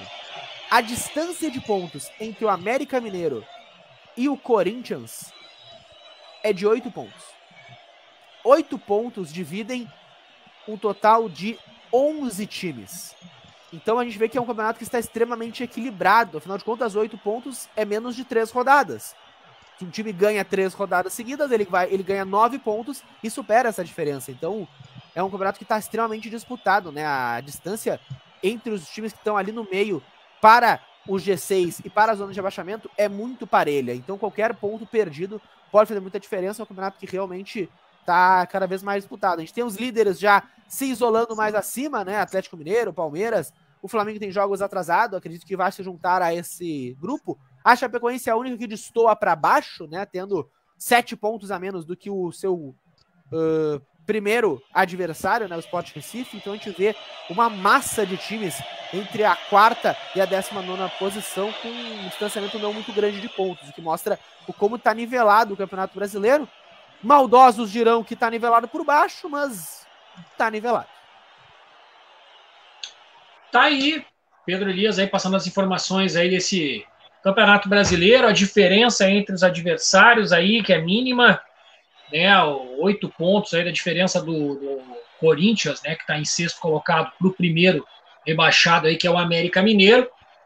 Pedro, uh, a gente passar um destaque aí, que os nossos ouvintes a gente sempre tem aos sábados, a Premier League a gente não teve hoje, excepcionalmente, mas uh, a semana que vem a gente já volta com esse que para mim é o, é o, maior campeonato europeu de nacional, né, que tem disputado, até por isso que a gente fez essa escolha da Premier League, claro, respeitando todos os outros que são grandes campeonatos, mas a Premier League tem um luxo, tem uma vistosidade que os outros campeonatos, na minha opinião, ainda buscam, né? Então a gente teve hoje uma vitória maiúscula do Liverpool contra o Crystal Palace, né, Pedro? É, e tem um detalhe, né, um, que eu gostaria de fazer sobre esse jogo do Liverpool que é no mínimo peculiar. Gulis, tem alguns jogadores que ficam marcados por fazerem gols em cima de clubes.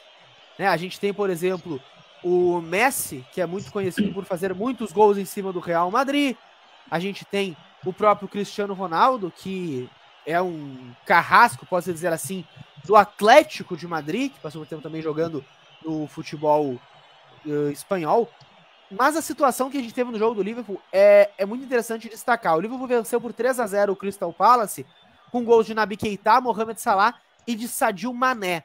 O Mané para quem não sabe, os últimos nove confrontos entre Crystal Palace e Liverpool foram nove vitórias do Liverpool, todas com gols de Sadio Mané. Então o torcedor do Crystal Palace vê o Mané passando na rua e já tem um mini ataque do coração, né? Porque é impressionante o que faz o Mané em cima da equipe do Crystal Palace que perdeu mais um jogo, né? O time que já começa a brincar ali com a zona de baixo da tabela, né? Já está em 14, enquanto o Liverpool, por enquanto, é o líder. Lembrando que o Manchester United pode ultrapassá-lo com o jogo que terá amanhã. Só para passar os resultados, então, da Premier, a gente teve uma vitória que, na minha opinião, é até surpreendente do Brentford em cima do Overhampton. Gols marcados pelo Ivan Tonen e pelo Brian Imbeumo, dois jogadores que, na minha opinião, têm que ser muito visados, muito destacados nessa Premier League, porque o Brentford é um time que não tem muito destaque, mas são dois jogadores muito bons, principalmente o Ivan Toney, que fez o gol e deu uma assistência. Um grande jogador que logo, logo vai estar num time de maior expressão da Europa ou vai ajudar o Brentford a crescer muito. O Arsenal conseguiu dar aquela respirada, né? Se aliviou da parte de baixo da tabela com uma vitória fora de casa contra o Burnley, o, Arsenal que agora sobe para a 13 terceira colocação e sai da zona de rebaixamento, com gol marcado por Martin Odegaard, de falta, né? Ele que está emprestado junto ao, Real Madrid, que foi comprado do Arsenal na última temporada. Além da vitória do Liverpool, teve também uma vitória do Watford em cima do Norwich City, gols marcados, dois gols de Ismail Assar e um gol de Emmanuel Denis para a equipe do Watford, o gol de que diminuiu para o Norwich marcado pelo finlandês Teemu Pukki, né? O Watford aí também vai fazendo uma campanha interessante e o Aston Villa venceu por 3 a 0 a equipe do Everton com gols de Matt Cash, um gol contra de Lucas Dinhe e um gol do jamaicano Leon Bailey, né, que foi contratado do Bayer Leverkusen para jogar pelo Aston Villa essa temporada. Leon Bailey que está tendo a difícil missão de substituir Jack Grealish no Aston Villa. E o Manchester City contra o Southampton, jogo a ser disputado no estádio City of Manchester, né, no Etihad Stadium do Manchester City, que todo mundo esperava um passeio, um show dos Citizens que fizeram 6 a 1, 6 a 3 na Champions League e viram um jogo murrinha 0 a 0 sem gols entre o Manchester City e o Southampton. Então não tivemos muitos gols lá no Etihad. Esses foram os jogos disputados da Premier League. Lembrando que a gente tem jogos também amanhã. Um destaque é um jogo que vale a pena acompanhar. O West Ham enfrenta o Manchester United, né? O Manchester fora de casa vai tentar fazer frente aos Hammers. E também tem às 10 horas Brighton e Leicester e o grande jogo do dia Tottenham Hotspurs contra Chelsea, ao meio-dia e meio lá no Tottenham Hotspur Stadium, né? Os Spurs recebem os Lions. Um confronto, um derby londrino aí entre Harry Kane e Romelo Lukaku. Tá aí, grandes informações aí com o Pedro Elias aí sobre a Premier League. Né? As duas equipes aí daqui a pouco estarão voltando para o gramado da Arena da Baixada. Pedro, queria te perguntar uma coisa, Pedro. E a dupla Grenal amanhã, hein? O que, que tu acha? O jogo do é, Inter é, mais cedo Grenal, e o Grêmio mais tarde.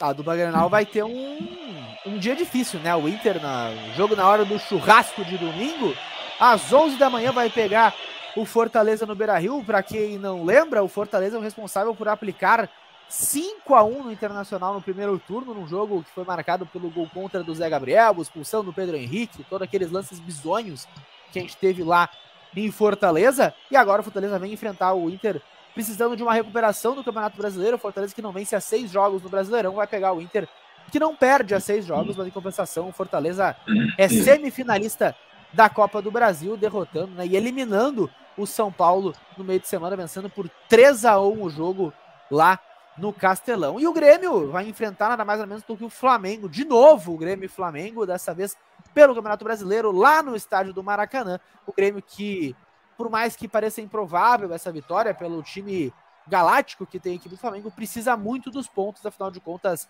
é o 18º colocado e precisa urgentemente começar a lutar para sair da zona da degola. Ah, mas o Grêmio tem jogos atrasados. Tem, mas são justamente contra Flamengo e Atlético Mineiro. Então, o Grêmio precisa realmente começar a fazer uma pontuação mais interessante para afastar o fantasma do rebaixamento, porque a briga lá embaixo está ficando mais feia que briga de força no escuro. O América Mineiro não consegue vencer, já estão chegando para participar dessa discussão também o São Paulo e o próprio Santos, que estão caindo pelas tabelas do campeonato, então vai ter uma vida difícil aí o Grêmio, adversários fortes na briga contra o rebaixamento, é muito importante que eles já comecem uma reação logo contra o Flamengo no domingo. Guli, só para trazer informação, informação ruim aí para os torcedores chavantes, o, teve um pênalti para o Goiás no final do primeiro tempo, né? Acabou sendo derrubado dentro da área o volante Caio, né? O, o Oliveira deu um tranco no volante do Goiás e o Aleph Manga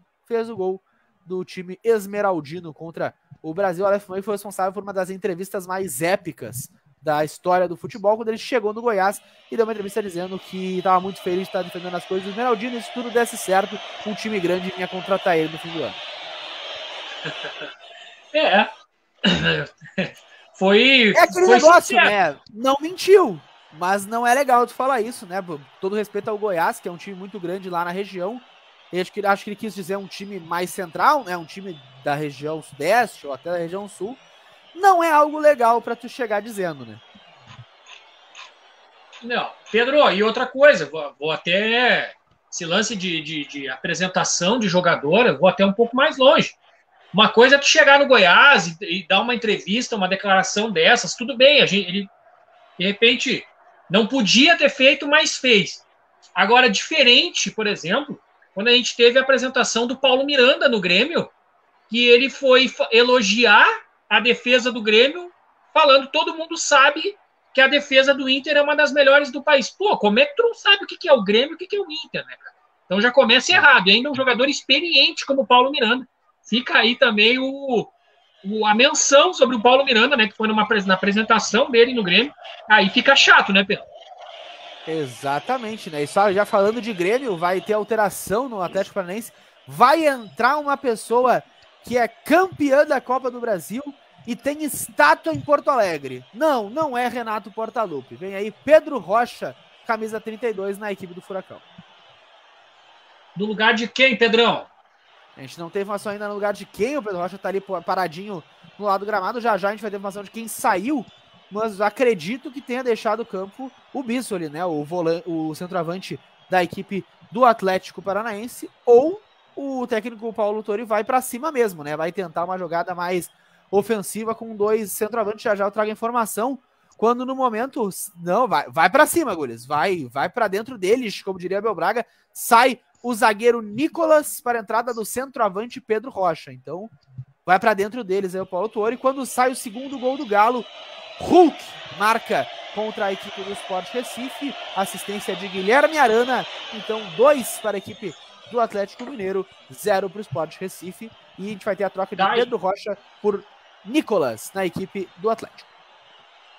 Tá, então as informações com o Pedro Elias nesse intervalo, as duas equipes já no gramado, o árbitro vai organizando ali o seu cronômetro, autoriza o árbitro, a bola está rolando no segundo tempo de Atlético. Zero, Juventude zero, entrou Pedro Rocha, camisa número 32 no lugar no camisa 8, Nicolas, o Atlético vai para cima, é a vitória, tem um jogador a mais, precisa desses três pontos também a equipe do Atlético. Atlético que é semifinalista da Copa Sul-Americana. Vai trocando passe a equipe do Atlético Paranaense no campo de defesa com o zagueiro Zé Ivaldo. Ele toca a bola aqui para Marcinho, lateral direito, caminho número 5. Volta a bola no círculo central, ali para o Eric. Vai conduzindo a bola para o Atlético. Abriu a bola na esquerda. Vem chegando a equipe do Atlético Paranaense. Boa jogada. Na frente, Pedro Rocha tocou a bola para o levantou na grande área, tira a defesa do Juventude. Sobra de novo para o Atlético. O Atlético vai na pressão já nesse início do segundo tempo, que é a pressão, antes de um minuto. Menos de um minuto ainda. Marcinho tocou no meio. Pedro Rocha fez a tabela. Voltou a bola atrás para Zé Ivaldo. Abriu a bola na esquerda para o Abner. Tentou boa bola dentro da grande área. Para o Bisoli, dominou. Tentou jogar atrás. Tira a defesa do Juventude. Ainda está ali perto da grande área. Sai jogando a equipe do Juventude. Agora vai puxar o contra-ataque com o Ricardo Bueno. Tocou a bola aqui para o Castilho. Lado esquerdo. Juventude vai tentando puxar o contra-ataque. Castilho vai puxando em alta velocidade. Agora ele brecou, parou. Marcado pelo Marcinho. Tocou na frente. Boa bola para a equipe do Juventude. Ricardo Bueno fez a jogada. Girou para o meio. Tocou para o Paulinho Boia. Tentou o chute. Chega a defesa do Atlético. A bola está pingando ali, dentro, ainda dentro da grande área. Volta para o Juventude. Boa bola aqui na esquerda. Dominou. Alisson. Camisa 33. Vai tentar fazer a jogada. Chutou sem direção. A bola subiu e foi pela linha de fundo. Tiro de meta para o Atlético, mas o Juventude já respondeu, Pedrão. É, o Juventude já chegou melhor no segundo tempo, né? Chegou aparecendo mais e o juizão vai mandar esperar, porque. Não vai, mais, não vai mandar esperar nada. O comentarista que, que se dane. Porque foi derrubado dentro da área o, o Paulinho Boia com dois jogadores na marcação. O árbitro, o técnico Marquinhos Santos pediu uma revisão de pênalti. Olha, eu não sei não, Gulis. Pelo menos uma olhadinha no VAR poderia ter dado.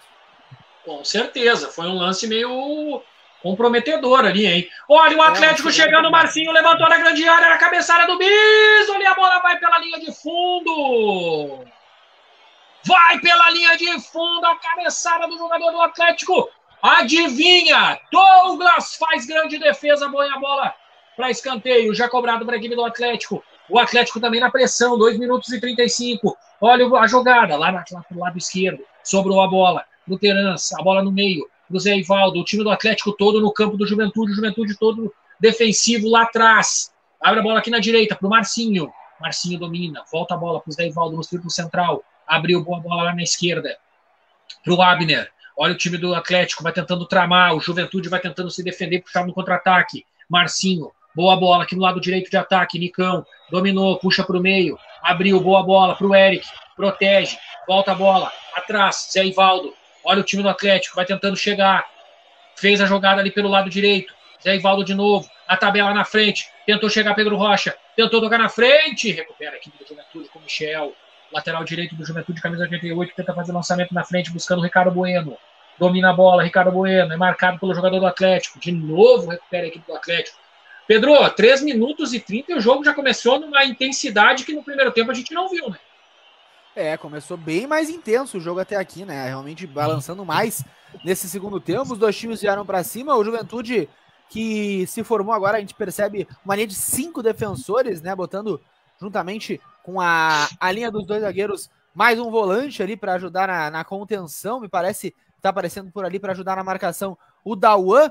Então realmente vai tentar nas escapadas de contra-ataque e por enquanto tá achando. O Atlético tá botando bola dentro da área, vai aproveitar os seus dois centroavantes agora para tentar uma criação mais ofensiva. O segundo tempo promete. A gente vai tendo aí a repetição da defesa do goleiro Douglas, que está sendo o nome do Juventude realmente nessa partida ali, quando a gente também teve um choque do Vitor Mendes, que ficou no chão, né, sofreu uma carga ali. Pedro, tem interatividade, Pedro? Tem interatividade, o pessoal tá aqui nos comentários participando.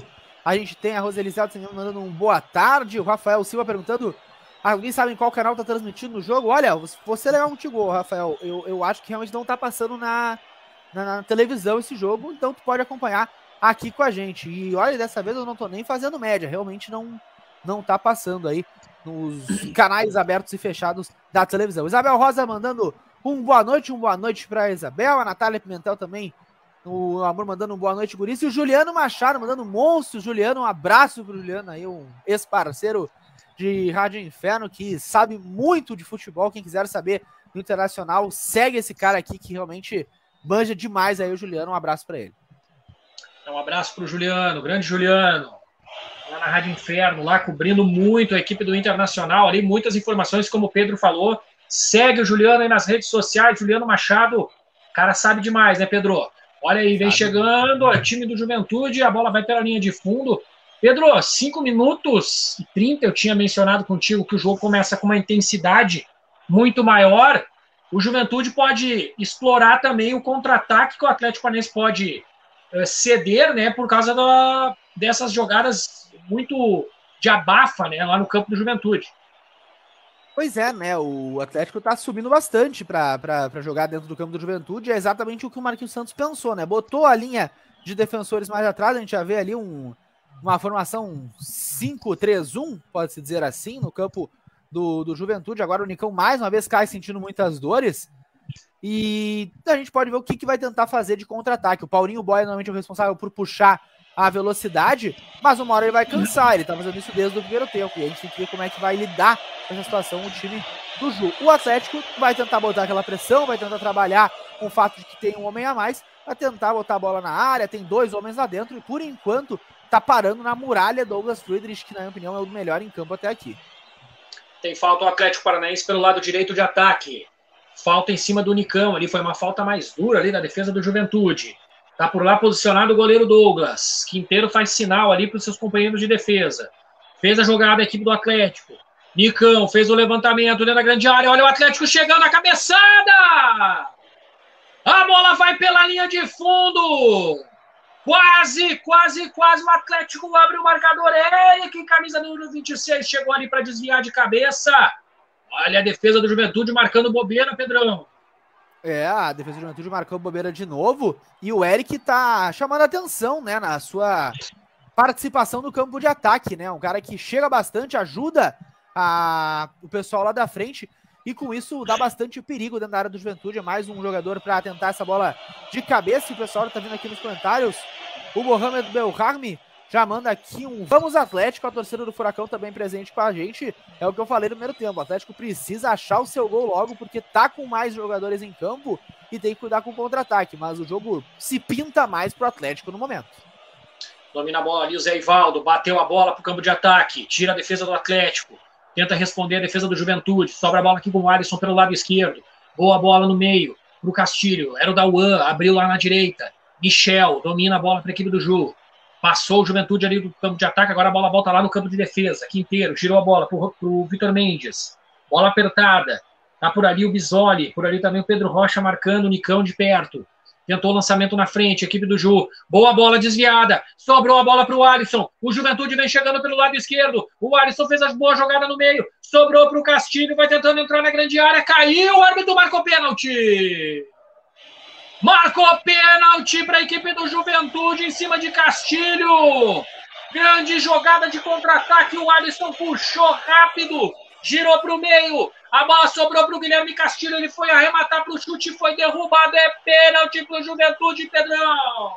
É pênalti para o Juventude, né? O Castilho conseguiu uma boa jogada, né? Como a gente estava falando, o contra-ataque ia ser fundamental. A jogada foi feita em altíssima velocidade aqui com o Alisson pelo lado esquerdo, botou no meio, o Castilho passou pelo primeiro na saudade aí, quando botou dentro da área, acabou tomando o tranco, foi derrubado, o pênalti tá marcado por ali, quem chegou botando o pé em cima dele foi o Marcinho, realmente teve o contato, o pênalti tá marcado, é a chance do Juventude, que tá com um jogador a menos, de fazer a sua oportunidade. A minha única dúvida, Gulis, é se ele foi atingido dentro ou fora da área, né? Porque eu tava com o pé em cima da linha por ali, o Marcinho. Vamos ver o que, que vai fazer o árbitro, mas que houve o contato é simplesmente inevitável. Não tem como dizer que não. Agora o árbitro vai ver com o vídeo se foi dentro ou fora da área, e para isso ele não precisa nem olhar no monitor, né? O pessoal já fala para ele no fone de ouvido e ele marca lá dentro, Gulis. É, e tá por ali Ricardo Bueno, é isso mesmo, Pedro? Isso aí, o camisa número 9 já tá posicionado, já vai botando a bola na marca da Cal, camisa 9 do Juventude, vai ter uma chance de abrir o placar o Jaconeiro, mesmo com um homem a menos, um pênalti cometido em cima do Castilho. Boa visão de jogo do Castilho, passando entre três marcadores. E era aquele negócio, né, Guli? Se não derrubassem ele, provavelmente ele ia para dentro do gol. Então, foi uma jogada, praticamente uma. Se rolar o gol, é praticamente uma assistência do Castilho.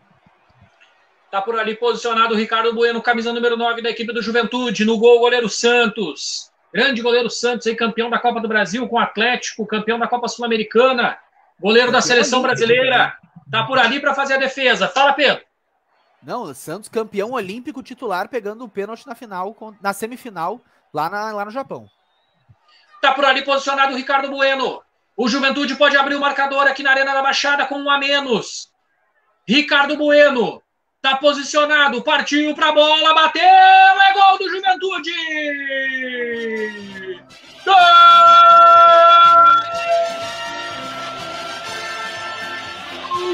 Do Juventude de Ricardo Bueno de pênalti.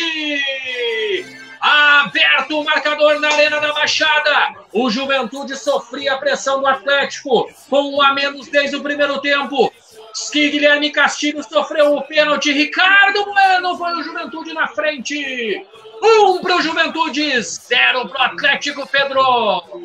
É a batida no centroavante, né? Ele teve a responsabilidade no único meio que o Juventude poderia achar para fazer o gol. O Castilho puxou o contra-ataque, sofreu o pênalti e aí caiu nas, nos pés do centroavante bater da marca da Cal. Ele bateu naquela batida de segurança no meio do gol. Ela chegou a triscar no pé do goleiro Santos, mas não deu para o goleiro do Atlético. Um para o Juventude, zero para a equipe do Atlético Paranaense. Saiu se ouve ao fundo o hino do Jaconeiro que abre o placar lá na Arena da Baixada. Uma vitória que é muito importante para o Ju no Campeonato Brasileiro, Gules.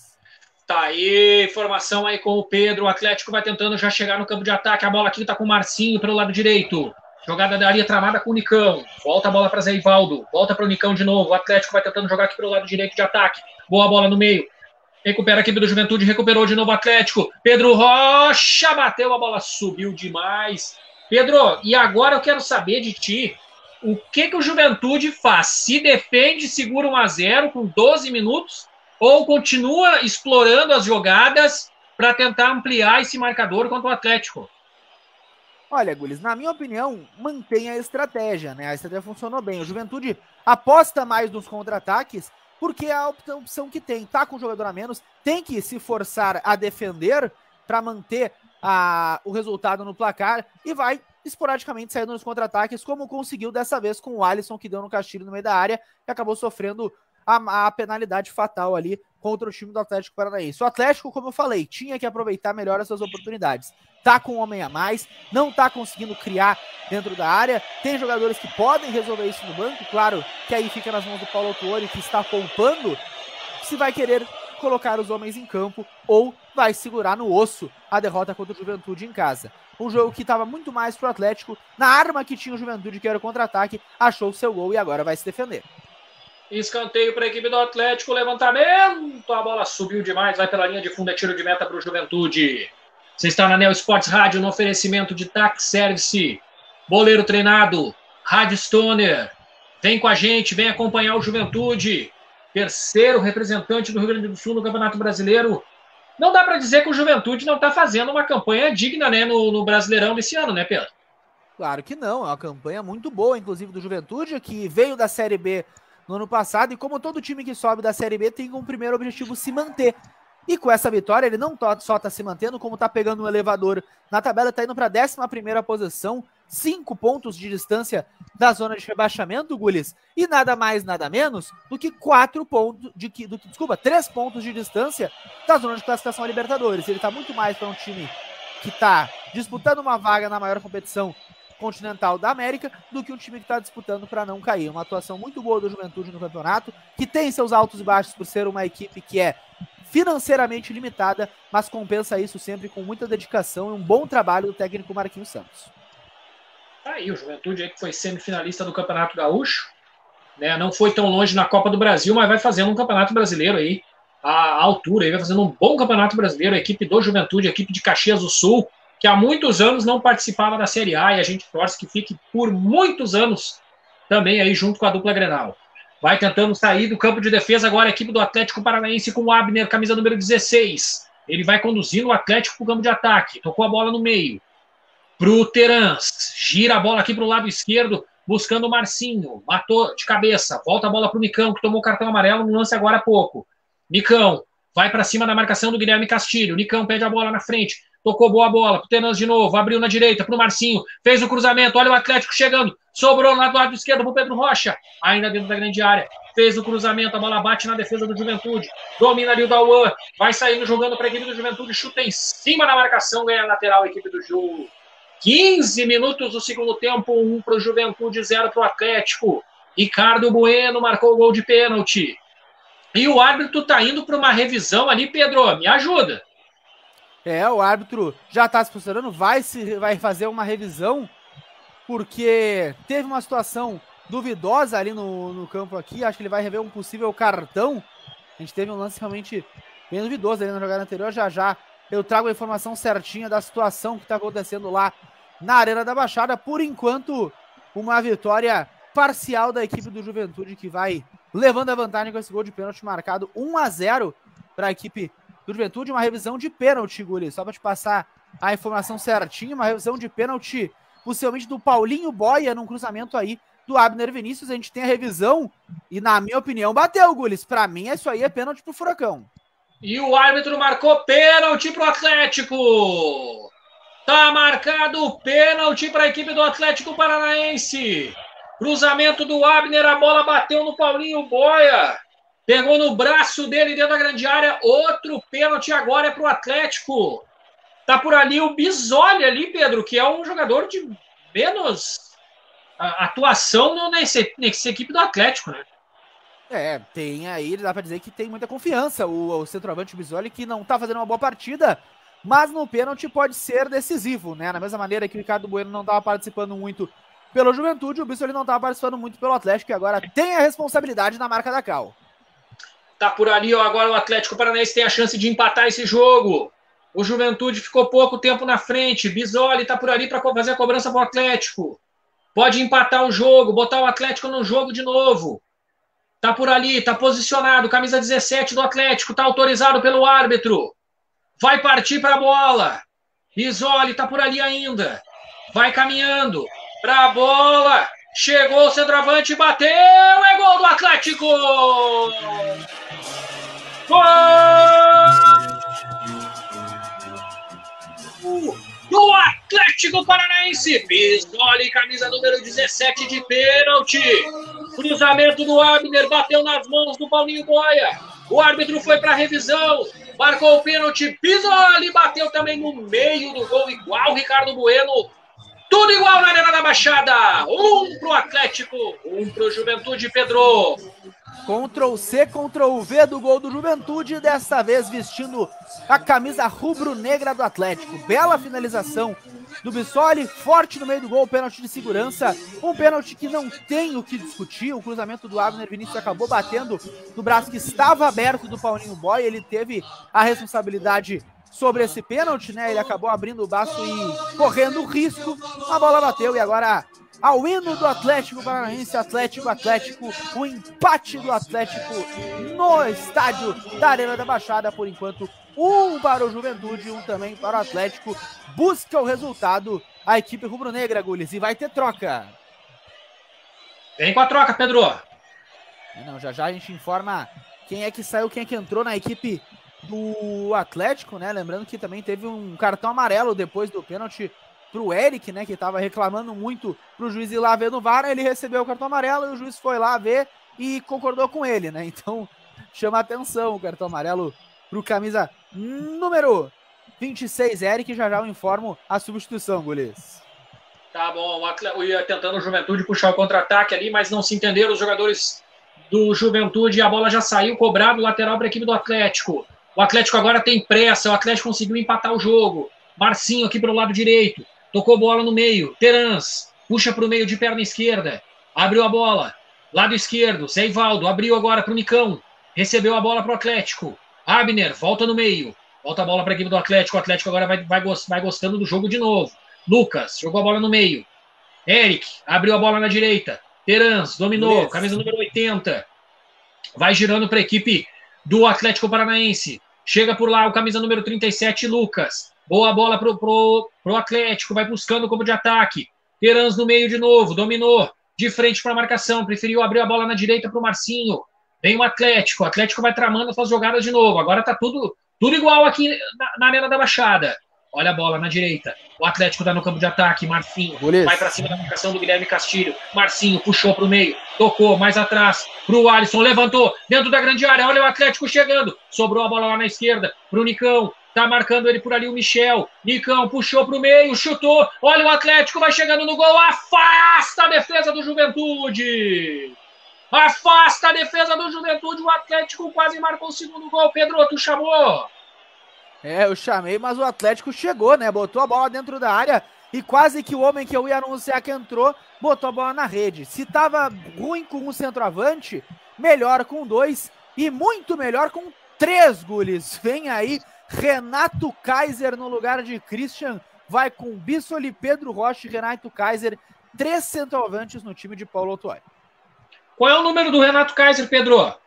Renato Kaiser, camisa número 79, ingressa no lugar do 88, Christian. Um abraço aí pro pessoal do Atlético Paranaense que gosta de número alto. Tá certo. O Atlético agora com quatro jogadores na frente. E vai ser difícil para o Juventude segurar. Tava difícil quando tava 0 a 0 Fez o gol. Eu falei com o Pedro.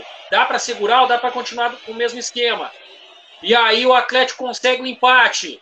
E agora um chutaço de fora da área do Zé Ivaldo. A bola vai pela linha de fundo, pegou na rede.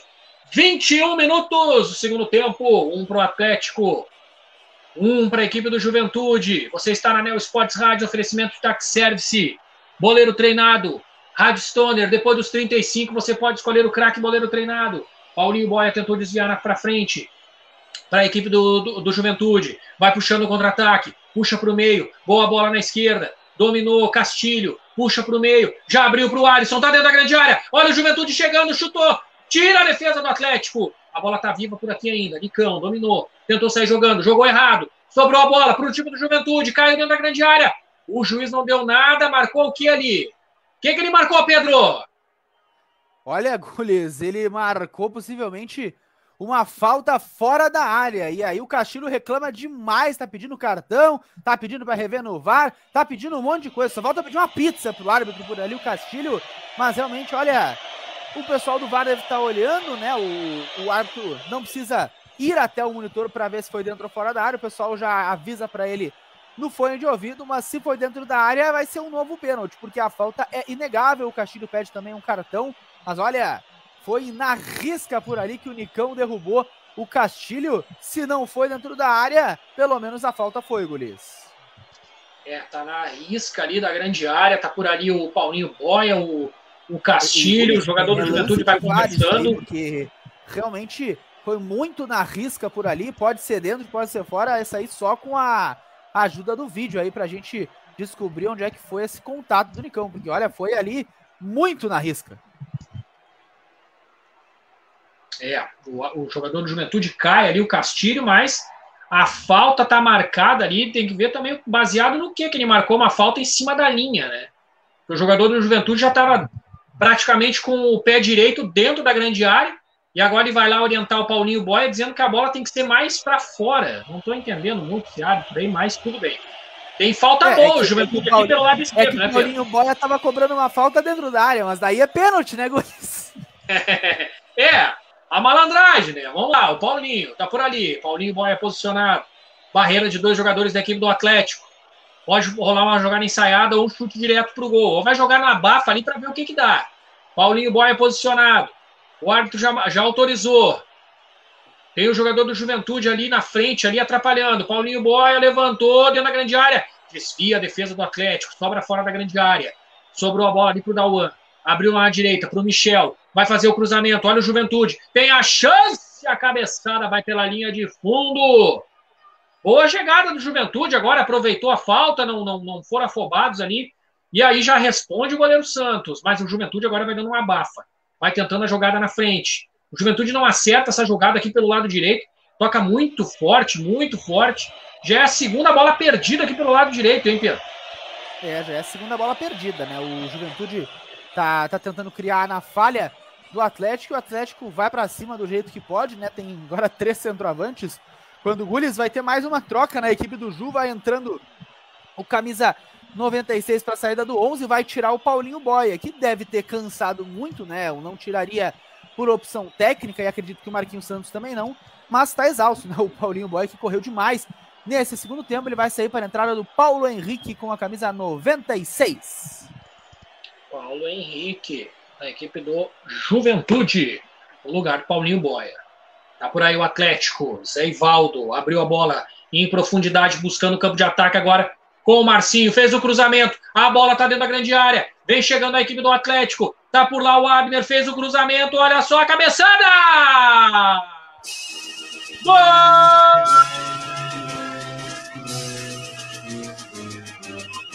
do Atlético Paranaense, Renato Kaiser, camisa 79. Bota o Atlético na frente aqui na Arena da Baixada. A virada do Atlético Paranaense. Tava difícil para o Juventude, agora ficou mais. Dois para o Atlético, um para o Juventude, Pedro. E é um bom centroavante. Renato Kaiser, bem posicionado dentro da entrada da pequena área. Cabeceou a bola para dentro do gol, não deu chance para o goleiro Douglas Friedrich, que faz um grande jogo até aqui.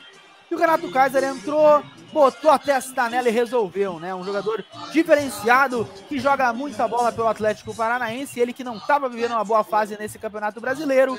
Hoje resolve pro Furacão, faz a virada e ao som do hino do Atlético Paranaense a gente anuncia que tá dois pro Furacão, um pro Juventude, como diria Vinícius Alves. Vira que vira que vira que vira que vira na Arena da Baixada, Goles.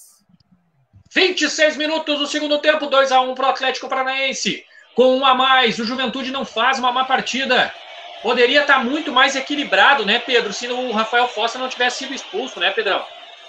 Ah, poderia, né? Mas o Si não entra no mundo do futebol e o Rafael Foster acabou de forma equivocada, chegando forte demais na marcação do Nicão e foi muito bem expulso, né? E aí, a partir daí, os fatos se desenrolaram conforme o jogo. O Juventude até conseguiu a sua oportunidade naquele pênalti muito bem conseguido pelo Castilho, né? Quase fez a diferença para a equipe do Ju, mas na sequência o Atlético conseguiu fazer a sua majoridade uh, numérica do jogo valer a pena e com isso sair com o resultado. Tá fazendo 2 a 1 um, agora vai ter que administrar melhor. Eu, se fosse o Atlético Paranaense, iria tentar fazer mais um gol para acabar de vez com a partida. E o Juventude vai ter que, mesmo com o jogador a menos, tentar buscar o ataque para não sair daqui derrotado, Gulis.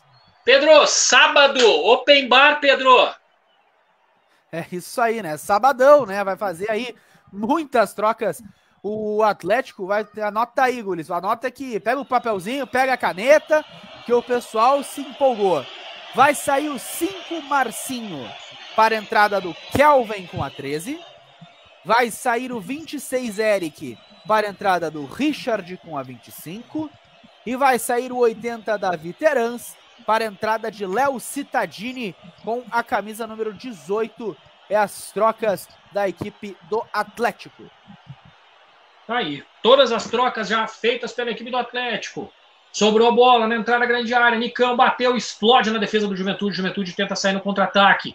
Dominou a bola. Ricardo Bueno tocou a bola na, aqui na direita pro, pro Michel, tentou fazer a jogada na frente, tentou fazer uma tabela ali esquisita, mas conseguiu e deu certo, sobrou pro Ricardo Bueno, fez o cruzamento, a bola desviada, a bola vai para trás, mas não foi intencional, sobrou nas mãos do goleiro Santos. O que, que tem que fazer agora o Juventude, hein, Pedro, para tentar pelo menos um empate aqui na arena? Olha, Gulis, o Juventude vai ter que tentar o milagre, né? Afinal de contas, ele tá com um jogador a menos, tá numa situação que não é favorável a si, e vai ter que tentar ir para uma situação de mais risco, jogando o time um pouco mais para frente, ou se preferir, se achar que está satisfeito, uma derrota de apenas um gol, o que não é do tamanho do Juventude, na minha opinião, mas que é entendível pela situação do jogo, talvez tentar se defender. Eu tentaria uma estratégia um pouco mais ofensiva, afinal de contas, perdendo de um, perdendo de dois, a quantidade de pontos é a mesma para tentar pelo menos buscar aí o seu golzinho. Mas mesmo com a derrota, o Juventude fez um belo jogo, fez um enfrentamento justo e com o jogador a menos chegou a estar na frente dentro da Arena da Baixada, que sempre é um jogo muito difícil para os adversários do Atlético Paranaense. O Juventude pode tentar ir para cima, mas eu diria que o resultado está praticamente definido a favor do Atlético. Kelvin fez boa tabela, olha o Atlético vai chegando na grande área, tira dali Vitor Mendes. A bola sobra lá do lado esquerdo de ataque para a equipe do Atlético com o Abner, camisa 16. Volta a bola atrás para Zeivaldo. Jogou a bola no meio. Camisa número 25, Richard. Faz a tabela. Sobra a bola para a equipe do Atlético. O Atlético agora tem o domínio total do jogo. Tá 2 a 1 um, um jogador a mais. Sobrou Pedro Rocha. Boa tabela dentro da grande área. Léo Citadini tentou fazer a virada. Tira Quinteiro dali. A bola vai pela linha de fundo. Escanteio para o Atlético, Pedro. É, mais um escanteio, né? O Léo Stadini já apareceu ali participando bem. Ele que é bom, ele que joga muita bola nesse time do Atlético, é um dos principais jogadores já há quase dois anos da equipe do Furacão e vai bagunçando ali a entrada da área do Juventude. O Alisson já discute com o companheiro, o Juventude já começa a ficar de cabeça quente. Daqui a pouco teremos mais trocas também na equipe jaconeira, Gulis.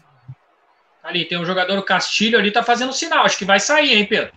É, vai sair até também, como eu já tinha falado, por cansaço, né? O Castilho é um jogador que correu demais, ele conseguiu o pênalti no segundo tempo, já vai se dirigindo em direção à, à saída por ali, vai estar discutindo com o árbitro. Eu não sei o que, que o árbitro quer, porque o Juventude está perdendo. O Castilho não ia tentar fazer cera, Gules. Acho que ele realmente está tá, tá pedindo ajuda do, do médico ali, vai pedir para troca o capitão 99 Castilho. Então vamos ver aí as alterações que vai fazer o técnico Marquinhos Santos para a equipe do Juventude tentar um, um resultado um pouco melhor. Vai sair o Castilho com a camisa número 99 para entrar do Wesley com a 10. Sai Castilho 99, entra o Wesley com a 10. E vai sair o Michel com a 88 para a entrada de Fernando Pacheco com a 17. Então aí as trocas do o Marquinhos Santos, como eu falei, vai um pouco mais para cima, né? Tira o lateral Michel para botar o Fernando Pacheco, que é um homem um pouco mais de frente. E na troca do Castilho pelo Wesley, são jogadores que fazem a mesma função, mas o Wesley entra um pouco mais descansado. Tá aí. aí. Já entrou o Wesley ali, camisa número 10 da equipe do Juventude, no lugar do Guilherme Castilho. Tem escanteio a equipe do Atlético, 31 minutos, quase 32. Nesse segundo tempo, 2 a 1 para o Atlético. O Atlético virou o jogo. Saiu perdendo com o gol do Ricardo Bueno para a equipe do Juventude e já virou. Olha o Atlético chegando de novo, cruzamento, a bola desviada pela linha de fundo, é tiro de meta para a equipe do Juventude. Você está na Neo Sports Rádio, oferecimento de Tax Service, goleiro treinado, Rádio Stoner. Daqui a pouquinho, depois dos 35, você já pode escolher o craque goleiro treinado, mas eu vou deixar mais para o final, Pedro.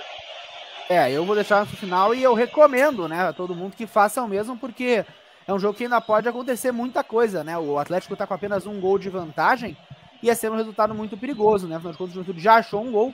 Eu acho que não teria perna para encontrar mais um, mas a gente sabe que o futebol é imprevisível e é por isso que ele é apaixonante. O Atlético vai dominando a bola no meio. Tá por ali Zé Ivaldo. Abriu boa bola na, na esquerda pro Abner. Volta a bola de novo. Richard. Tocou a bola no meio. Sai jogando ali o camisa número 25, Richard de novo. Tá ali no círculo central. Tocou a bola pro Léo Cittadini. Boa tabela com Renato Kaiser na frente. Veio, tabelou, voltou a bola atrás. Abner abriu aqui na, na direita pro Richard. Tocou boa bola pro Kelvin. O Atlético vai, vai tramando, vai tentando a jogada, vai tentando ampliar. Bola dentro da grande área. Com Renato Kaiser, tira a defesa do Juventude. Se salva por ali, tenta sair puxando o contra-ataque. O Jadson ficou no chão, reclamou. Falta para a equipe do Juventude na intermediária de defesa, Pedro. É, falta do Juventude que vai poder tentar sair dali com um pouco mais de tranquilidade, tentar um desafogo no seu sistema defensivo, porque está sofrendo pressão já há muito tempo, né? A gente não fala mais do ataque do Juventude, porque depois do primeiro gol do Atlético, o Atlético tomou mais. ficou mais confortável do jogo, tomou mais conta do jogo e agora faz um ritmo parecido com o que fez no primeiro tempo, né? Em que encurrala o Juventude, dá poucos espaços para o contra-ataque e começa a dominar mais a partida dentro da sua própria casa, quando teve cartão amarelo ali para o Bisso, ali, por atrapalhar a cobrança da falta da equipe do jogo. Tá por ali Fernando, cobrou lateral para a equipe do Juventude, tentou a bola no meio, domina no peito Wesley, faz boa jogada, dá um bom chapeuzinho em cima do Léo Cittadini ali, mas pediu a falta, sofreu a carga, é falta para a equipe do Juventude, intermediária de defesa pelo lado direito. Tem falta a equipe do Juventude para fazer a cobrança. Deu um bom chapeuzinho ali em cima do Léo Cittadini, bom jogador também do Atlético. É, o Léo Cittadini é um jogador aí que serviria em qualquer equipe da Série A, né, Pedro? É, eu acho que tu desconsiderando ali os, os elencos milionários, né, do futebol brasileiro, que é o caso de Palmeiras, Flamengo, até do Atlético, para Atlético Mineiro, o Cidadini com certeza caberia, né, do do, no, meio de campo de qualquer time, né? Um jogador que ele é muito inteligente, jogando principalmente na situação de segundo volante, ou talvez um pouco mais para frente. É um jogador que joga de cabeça erguida e foi peça principal nesse time do Atlético, tanto na conquista da Sul-Americana quanto posteriormente na conquista da Copa do Brasil, inclusive fazendo gol na final. Realmente é um jogador que tem muito talento. Tá aí, o Léo Cittadini aí, bem analisado aí pelo Pedro Elias. Quando tentava sair jogando a equipe do Juventude, mas já recupera a equipe do Atlético. Abner voltou a bola atrás. O Atlético tem o domínio agora no campo de defesa. 35 minutos. A partir deste minuto, você já pode escolher o craque goleiro treinado. A bola está com o goleiro Santos. Bate de perna direita para o campo de ataque. Tocou a bola para o Kelvin. Vai puxar o contra-ataque para a equipe do Atlético do lado direito. Está por aqui o Nicão. Dominou. De perna esquerda. Volta a bola mais atrás. O Atlético administra o jogo. Richard Jogou a bola no meio. Trazer Ivaldo. Vai tentar puxar a jogada. Volta de novo pro Richard. Abriu aqui do lado direito para o Kelvin. O Atlético to com todo o domínio do jogo. Richard fez o levantamento dentro da grande área, tira a defesa do Juventude. Volta a bola no meio para o Léo Cittadini. Dominou a bola para o Atlético. Vai tentando ali armar a jogada na frente. Abner carimbou, voltou a bola mais atrás. Lucas abriu boa bola na direita. Zé Ivaldo abriu agora para o Kelvin, marcado pelo Alisson. Volta a bola ali para o Nicão. O Atlético vai trocando passes, bota o Juventude na roda aqui, o Juventude não consegue roubar a bola. Boa bola do Renato Kaiser, tocou na frente. Tentava ali o Pedro Rocha, tentou escapar ali, puxar um contra-ataque, o camisa número 96 da equipe do Juventude, o Paulo Henrique, é isso mesmo, Pedro? Isso aí, Guris. Paulo Henrique, é, eu tava confundindo o Paulo Henrique ali com o Michel que já saiu. Olha aí, vem chegando o Atlético. Kelvin, lado direito, troca passe da equipe do Atlético. Voltou a bola no meio, Léo Cittadini, camisa número 18. Inverteu ali a jogada. Lá na esquerda, para o Abner, Pedro Rocha, faz boa jogada para cima da marcação do Juventude. Cortou um, cortou dois, ficou no chão e o árbitro marcou falta. Tem falta o Atlético na boa, na excelente jogada do Pedro Rocha. Foi para cima da marcação, driblou para um lado, para o outro. Na primeira levou o chute, mas aí na segunda ficou no chão, Pedro. É, ficou no chão, a falta está marcada, é uma falta justa aí, uma falta perigosa. O Atlético, como eu falei, vai buscar o seu terceiro gol para tentar acabar e fechar a conta do jogo por aqui. E tem uma falta boa para bater, né? O Juventude que voltou melhor para o segundo tempo depois de tomar o primeiro gol e posteriormente o segundo acabou perdendo o controle do jogo de maneira completa e agora está sofrendo muito nas mãos do bom time do Atlético que já está com muitos homens de frente, né? Então, qualquer momento pode acabar achando mais um gol. Renato Kaiser já está na área. Nicão fez um levantamento, olha só agora a chance do Atlético. Sobrou a bola aqui na direita, bateu. Douglas faz a defesa.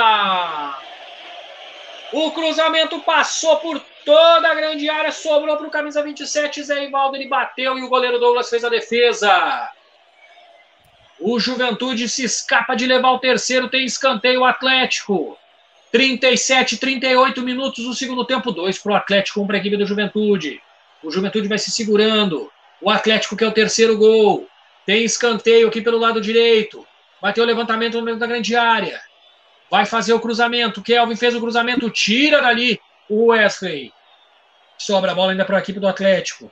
No, no círculo central. Distribui a bola para o Kelvin. Puxa a bola mais para trás. Jogou a bola ali para o Léo Cittadini no meio. Léo Cittadini quase perdeu a bola para o Wesley. Tocou bola forçada na frente para o Renato Kaiser. Chegou com tudo para cima do Jadson. Cometeu a falta. Falta para a equipe do Juventude. O Juventude foi cobrar. Já caiu o jogador. Tomou cartão amarelo. Que lambança, Pedro. É, lambança por ali, né? A falta já tá marcada, aí agora já estão se desentendendo por ali na marcação e o Juventude começa a perder um pouco a cabeça no jogo, mas o Zé Ivaldo realmente chegou de forma muito dura, né? Jogou no chão o Dawan ali, a falta tá marcada, o cartão amarelo foi muito bem aplicado a favor do Juventude. Gulli, só para passar a informação, né? O Atlético Paranaense com essa vitória vai à oitava posição com 27 pontos, ultrapassa o Atlético Goianiense, o Internacional e o Cuiabá, que vai ficando aí temporariamente na oitava posição. Os outros três times que eu mencionei jogam amanhã. É, o Inter joga amanhã às 11 contra o Fortaleza. Às 11 da manhã. O Atlético vai dominando a bola aqui pelo lado direito. Kelvin tentou sair jogando, chutou em cima do Alisson. 39 minutos, quase 40 do segundo tempo. O Juventude já não parece não ter forças para conseguir buscar o empate. O Atlético vai tentando dizer, né, Pedro, que está mais para o Atlético fazer o terceiro, né? Exatamente, né? E não é por falta de vontade, nem por falta de inteligência do, do técnico Marquinhos Santos, mas por falta física, né? Afinal de contas, o Atlético é um time que tem bastante jogadores fortes, que é um time que é bem organizado e já começa a se postar mais dentro do campo do Juventude, que com homem a menos não conseguiu marcar, principalmente quando o Paulo Torre começou a botar muitos homens de frente. Quando achou o seu gol, o Juventude achou que estava mais tranquilo. Logo na sequência, teve um balde de água fria com o pênalti marcado e convertido pelo Bisson. E na sequência, o Renato Kaiser entrou para ser o diferencial do jogo. Botou a cabeça na bola, fez o segundo gol e aí desconcertou a equipe de Caxias. Olha o Juventude vem chegando, olha o chute pro gol! Santos faz a defesa! Faz grande defesa o goleiro do Atlético. Tava meio que adiantado ali o jogador do Juventude, Ricardo Bueno, chutou de fora da área, ganhou um escanteio. A gente não viu o Juventude chegar no ataque há muito tempo. Tem escanteio Juventude, quem sabe agora o Juventude consegue um empate. não sai de tão ruim assim a atuação aqui na Arena. Vai o Wesley, fez o levantamento dentro da grande área, tira a defesa do Atlético. Sobra a bola aqui do lado esquerdo de ataque. Sobra a bola para o Quinteiro. O zagueirão faz a jogada. Boa jogada, fez o cruzamento, levantou dentro da grande área, tira a defesa do, do Atlético. Sobra a bola ainda na entrada da grande área do Atlético Paranaense. Responde de cabeça a defesa atleticana. Volta a bola. Agora é contra-ataque do Atlético. Nicão ficou no chão, vai puxar o contra-ataque. Léo Stadini. Boa bola na frente. Tentou a bola esticada ali para o Bisoli. Volta a bola para o campo de defesa para a equipe do Juventude. Quinteiro já está por ali. No meio de dois jogadores Beleza. do Atlético. Abriu bola na frente, na frente. Fernando, fala, Pedro. Não, só para trazer informação que teve gol no jogo do Brasil, é o segundo gol do Goiás, né? O Aleph Manga finalizou de canhota, a bola acabou sobrando para o Caio Vinícius depois do desvio da defesa, e aí o Caio marcou o segundo gol do Esmeraldino, Goiás 2 a 0 em cima do Brasil de Pelotas. Com esse resultado, o Goiás recupera a segunda posição que o Botafogo tinha roubado. E agora o Brasil de Pelotas é cada vez mais lanterna da Série B, uma situação muito ruim da equipe do Brasil, que vai andando a passos largos rumo à Série C mais uma vez. Ele que está a 10 pontos do primeiro, fora da zona de rebaixamento. Então, possivelmente teremos uma substituição na Série B, Gules. Vai sair o Brasil de Pelotas e vai entrar o Ipiranga.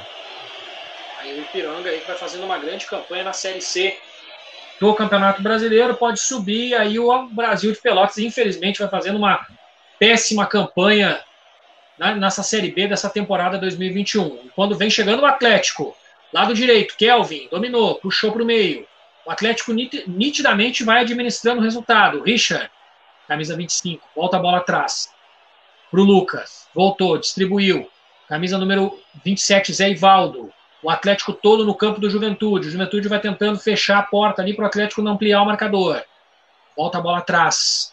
Lucas vai conduzindo ali no círculo central. Ricardo Bueno marca a distância. Distribuiu a bola aqui na direita. Do Zé Ivaldo. Volta a bola. 42, quase 43. Quantos minutos tu arrisca aí, Pedro, que vai ter de acréscimo? Ah, acho que uns dois, três minutos. Acho que mantendo a risca do primeiro tempo, né? A gente não teve muitas polêmicas nesse segundo tempo.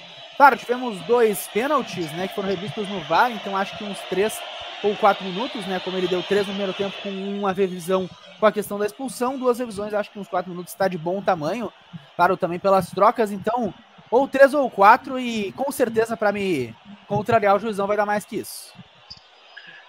Tá aí, o Abner, a opinião do Pedro aí sobre o acréscimo desse segundo tempo.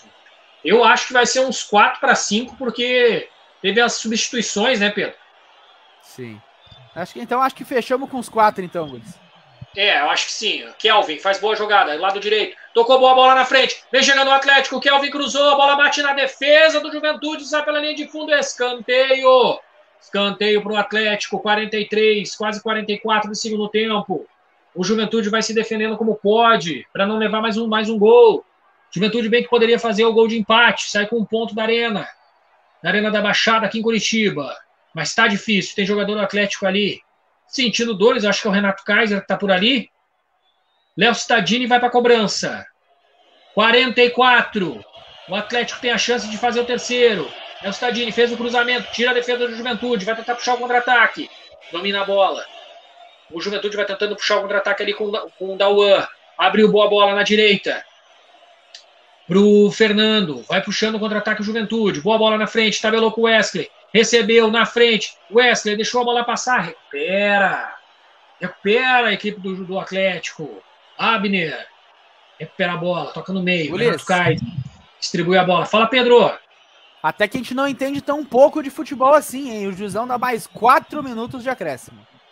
Tá aí, ó, quatro minutos de acréscimo, eu e o Pedro fechamos junto aí. É, eu acho que tá justo também, né, Pedro?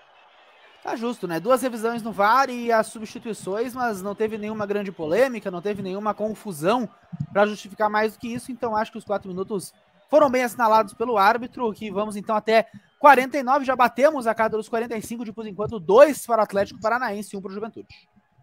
Tá aí o Atlético Paranaense ia tentando a jogada ali no campo de ataque, tirou a defesa do Juventude com o lateral esquerdo Alisson, que entrou no primeiro tempo né, no lugar do quem é que saiu? O Capixaba, né? Que saiu para o Alisson, né, Pedro?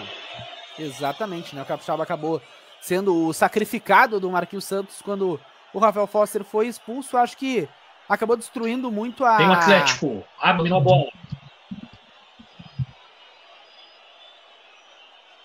Vem o Atlético. Vai jogando aqui pro lado esquerdo com o Léo Stadini. Dominou, boa bola na frente. Pedro Rocha bateu pro gol e a bola subiu demais e vai pela linha de fundo. Tiro de meta para a equipe do Juventude. Já cobrado pelo goleiro Douglas. Domina a bola ali, Vitor Mendes. Tenta sair jogando com o Quinteiro. Tocou a bola aqui na direita para o Fernando. Juventude está no campo de defesa, não consegue chegar mais ao ataque. Vai partindo ali o Fernando. Pedro teve problemas técnicos lá, daqui a pouco o Pedro volta. Volta a bola mais atrás. O Juventude. Com o Wesley. A bola aqui na esquerda. Girou a bola. Vitor Mendes. Distribuiu. Tocou boa bola na direita. Quinteiro. Pedro, tá tudo certo aí, Pedro? Tudo certo. Inclusive, já para informar que teve troca lá no Recife, o Sport Recife tá trocando. E o Atlético também, só para trazer informação das trocas do Atlético Mineiro.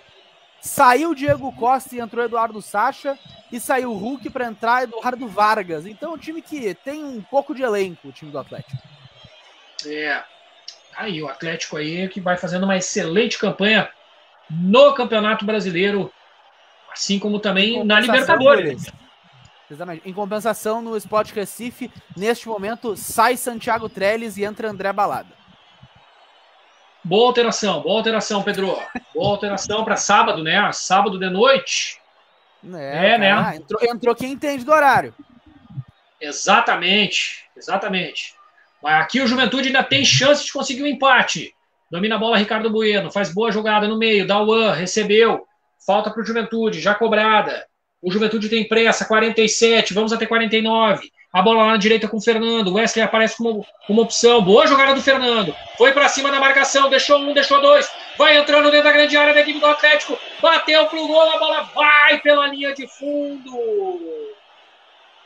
Mas o Fernando se empolgou, foi levando todo mundo, Pedro. Quase marcou um golaço. É, foi levando todo mundo, né? Passou por um, por dois. Quando chegou o terceiro, ele finalizou. Talvez tivesse tentado uma jogada dentro da área, teria sido um pouco mais feliz, mas a jogada foi muito bonita, né? Tá certo ele em tentar bater. Acabou batendo um pouco torto ali, o Fernando, camisa número 96 da equipe do Juventude. O, Fernando, é, o Paulo Henrique também chegou junto, a bola foi para fora e aí não conseguiu aproveitar a oportunidade. 48 minutos já passados deste segundo tempo, de por enquanto dois para o Atlético e um para o Juventude. Tá aí o Atlético vem chegando pelo lado direito, cruzamento do Abner, tentou para dentro da grande área o Nicão e a bola sai pela linha de fundo. Escanteio para o Atlético. O Atlético tem mais, mais uma chance ainda nesse final de jogo. O Nicão chutou em cima na defesa do Juventude. O Quinteiro tirou a bola para a linha de fundo. Escanteio. Tá por ali o goleiro Douglas orientando a defesa. O Juventude já não tem forças mais para buscar um empate. 48, quase 49. Daqui a pouco vai esgotar o tempo regulamentar que o árbitro Aí sinalizou, tempo de acréscimo, né? O regulamentar já foi. Nicão, voltou a bola, atrás, para o Richard. Gira a bola no círculo central, a equipe do, do Atlético, quando apita o árbitro. Encerra a partida na Arena da Baixada. Dois para o Atlético Paranaense, de virada. Um para o Juventude com um jogador a menos. Pedro, o Atlético mereceu, mas o Juventude não jogou mal, né? Não, de forma alguma, né? O Juventude, ele tentou quando pôde, teve um jogador expulso cedo, então acabou tendo a sua partida, de certa forma, prejudicada.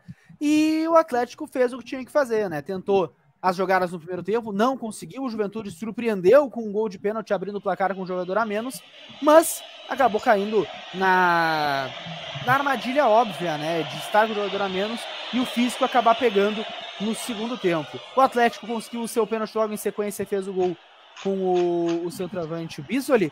E na sequência entrou o Renato Kaiser e mudou totalmente o jogo, se posicionando como centroavante de ofício dentro da área, cabeceador, marcou o gol, fez a diferença na partida e, na minha opinião, é o craque boleiro treinado. O cara que veio do banco para resolver o jogo quando ele entrou, acabou com a partida, fez o segundo gol e deixou tudo resolvido.